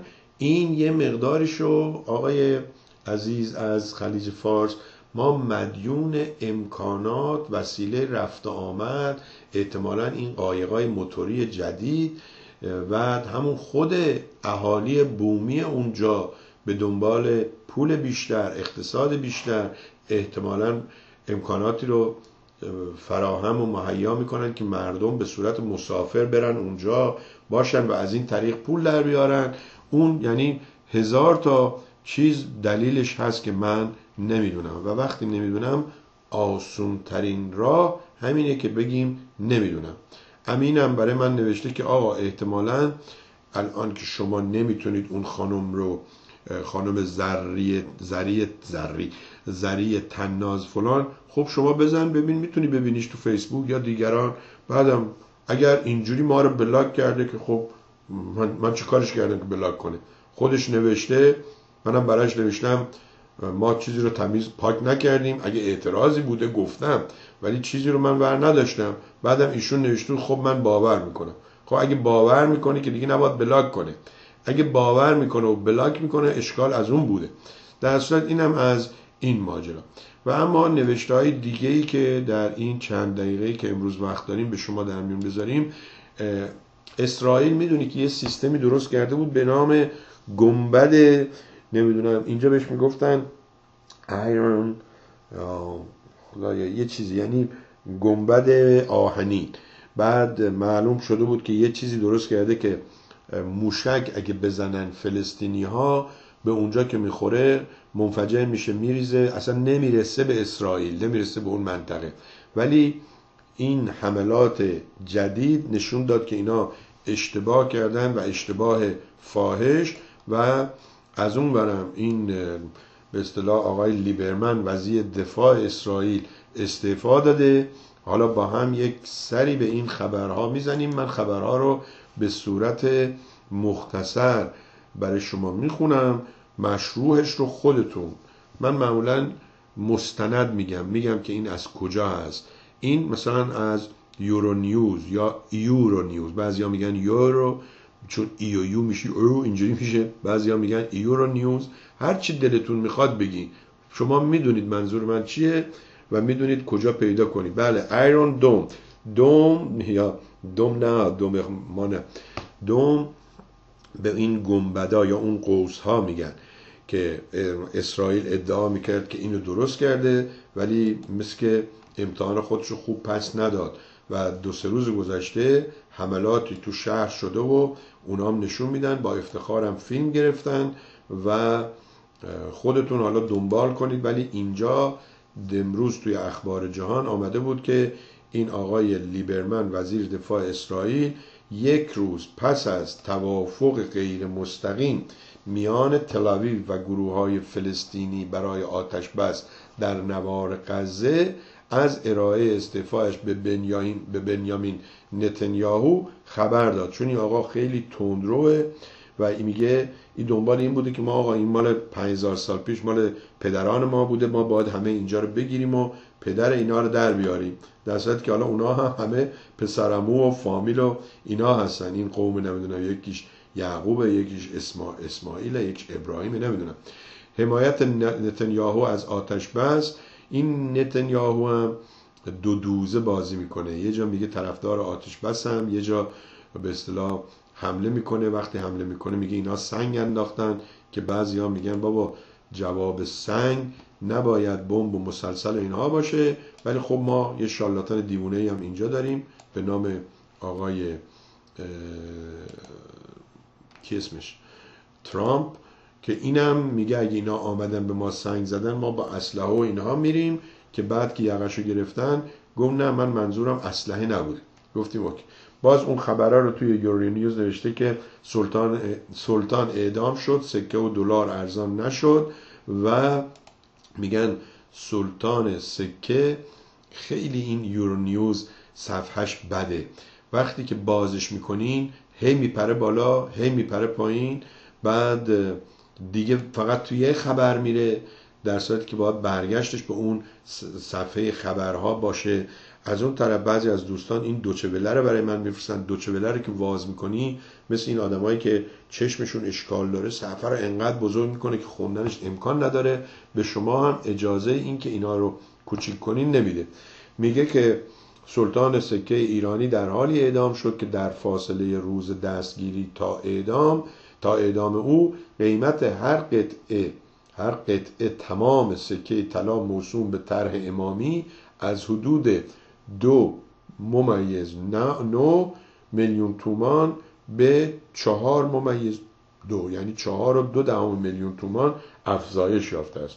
دادسرای عمومی و انقلاب تهران اعلام کرد که با تایید حکم از سوی دیوان عالی کشور وحید مظلومین معروف به سلطان سکه و محمد اسماعیل قاسمی همکار او بامداد روز چهارشنبه اعدام شدند. یعنی همین امروز صبح. این دو نفر حدود یک ماه و نیم پیش از سوی دادگاه به جرم فساد فلعرز افساد فلعرز یا اون مفسد الفرعرز از طریق تشکیل شبکه فساد اخلاق در نظام اقتصادی و ارزی و پولی کشور با انجام معاملات غیرقانونی و غیرمجاز و قاچاق عمده و کلان ارز سکه به اعدام محکوم شده بودند. البته بیشتر غلام حسین غلام حسین محسنی اجهی سخن... یا اجهی سخنگوی قوه قضایی ایران از صدور حکم اعدام برای سه تن از جمله فردی به نام باقری درمانی یا درمانی و صدور حکم زندان برای سی مجرم دیگر در این خصوص خبر داده بود. اینا هنوز نفهمیدن. اگر اعدام دنیا رو درست می‌کرد الان عربستان باید بهترین کشور دنیا باشه. چون چپ و راست ها رو سر می‌زنه اعدام می‌کنه. ولی می‌بینیم که بدترین مشکلات تو همین عربستان هست. دوستان عزیز حالا که این تصویر ما فریز شده بذارید خودمونم بریم. امروز یه مقاله برای من اومده بود به نام خواننده آمریکا آمریکا نیرنگ تو. گفته که خانمی که از دیوار سفارت بالا رفت شایع کرده که من ساکن آمریکا هستم.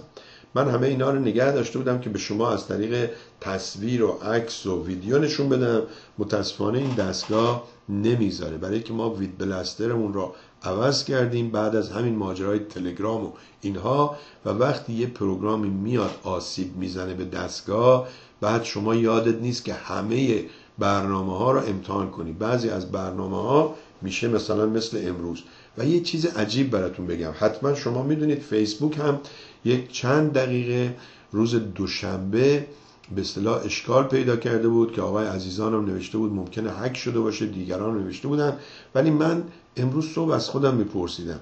ما که هفته سه روز برنامه داریم یک کسی اون فرید از انگلستان اگه بود الان برای اون از لحاظ ریاضی می‌گفت ما چقدر شانس داریم که در حین برنامه زنده ما یه پروگرامی مثل فیسبوک که مثلا ضریب کار کاراییش یا همیشه کار کردنش باید روی 99 درصد و بالاتر از 99 درصد باشه درست در زمان همین یک ساعت خورده یا دو ساعت برنامه ما اون اشکال پیدا کنه. این همه این ضریبا رو میشه به اصطلاح از لحاظ چیز حساب کنید چون شما وقتی بلیت بخت آزمایی می‌خری بهت میگن شانس این که برنده بشی از شانس این که رعد برق بهت بزنه کمتره. همه اینا رو بهت میگن. آقای مجید خوشنودی از کالیفرنیا میگه اتفاقا با اعدام این افراد اگر راست میگن باید مشکل طلا و ارز حل شده باشد. خب اون کلمه اگری که شما گذاشتی همه چی رو درست کرد. مشکل یا مسئله ما و سوال ما همینه که اگر درست میگن اینا تا حالا هیچ چیزی رو درست نگفتن بنابراین هیچ عمل درستی انجام ندادن.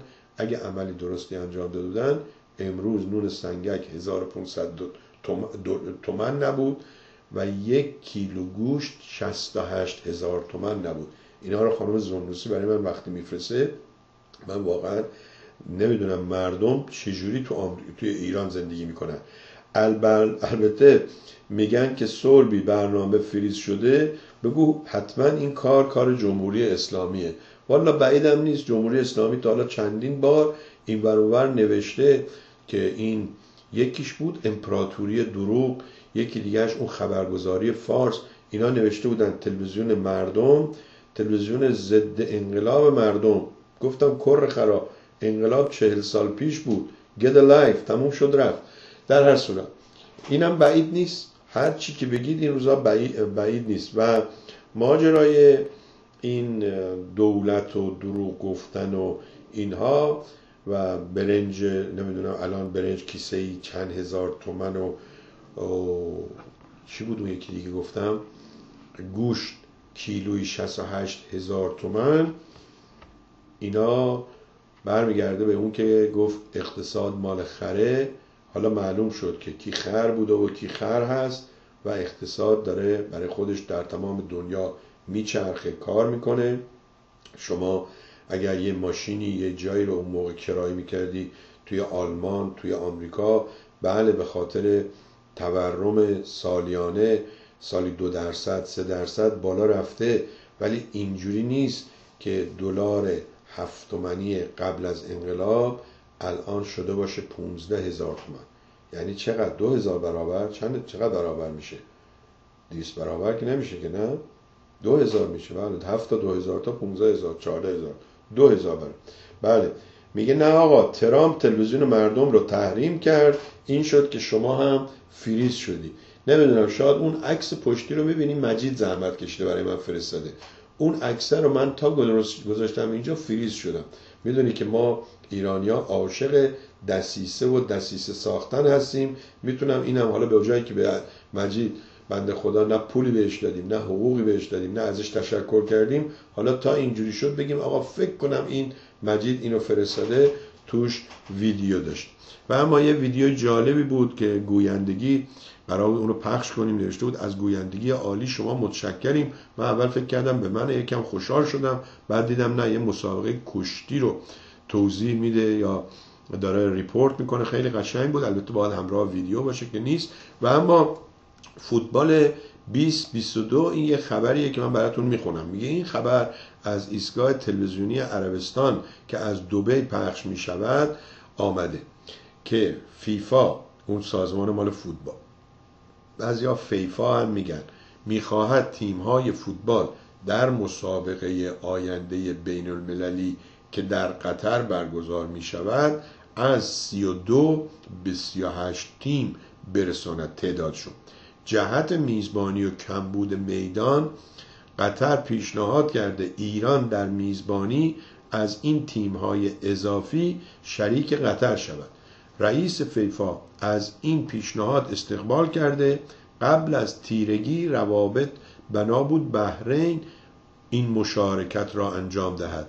همانطور که می‌دانید قطر نزدیک به دو سال است توسط عربستان امارات بحرین و مصر محاصره و قطع رابطه شده است. اینم یه یوتیوب همراهش فرستادن و به نفع کی شده دوستان این وسط؟ با هم دیگه بگید دوباره آخوندا. بوش احمق عراق رو داد دست آخوندا. الان هم در دوره ترامپ و خانواده کثیفش که پول از قطر گرفتن و می‌خواستن پولا رو بالا بکشن. بعد رفتن اونجا آمدن گفتن این قطر طرفدار تروریست و فلانه قطر الان افتاده در دامان ایران. بعدا وقتی این آخوندا رفتن بدهکار میشیم به آقازاده هاشون. اونا میگن که ببین شاه و پدرش یکی رودخانه هروند هرند کی بود؟ اونو داد یکی بحرین داد ولی این آخوندا عراق و قطر رو هم آوردن و کردن جزو ایران. اینم یه دلیل دیگه که اون فرد نادان به نام رضا دهقان بره بگه که سربی جمهوری اسلامیه یا مزدوره.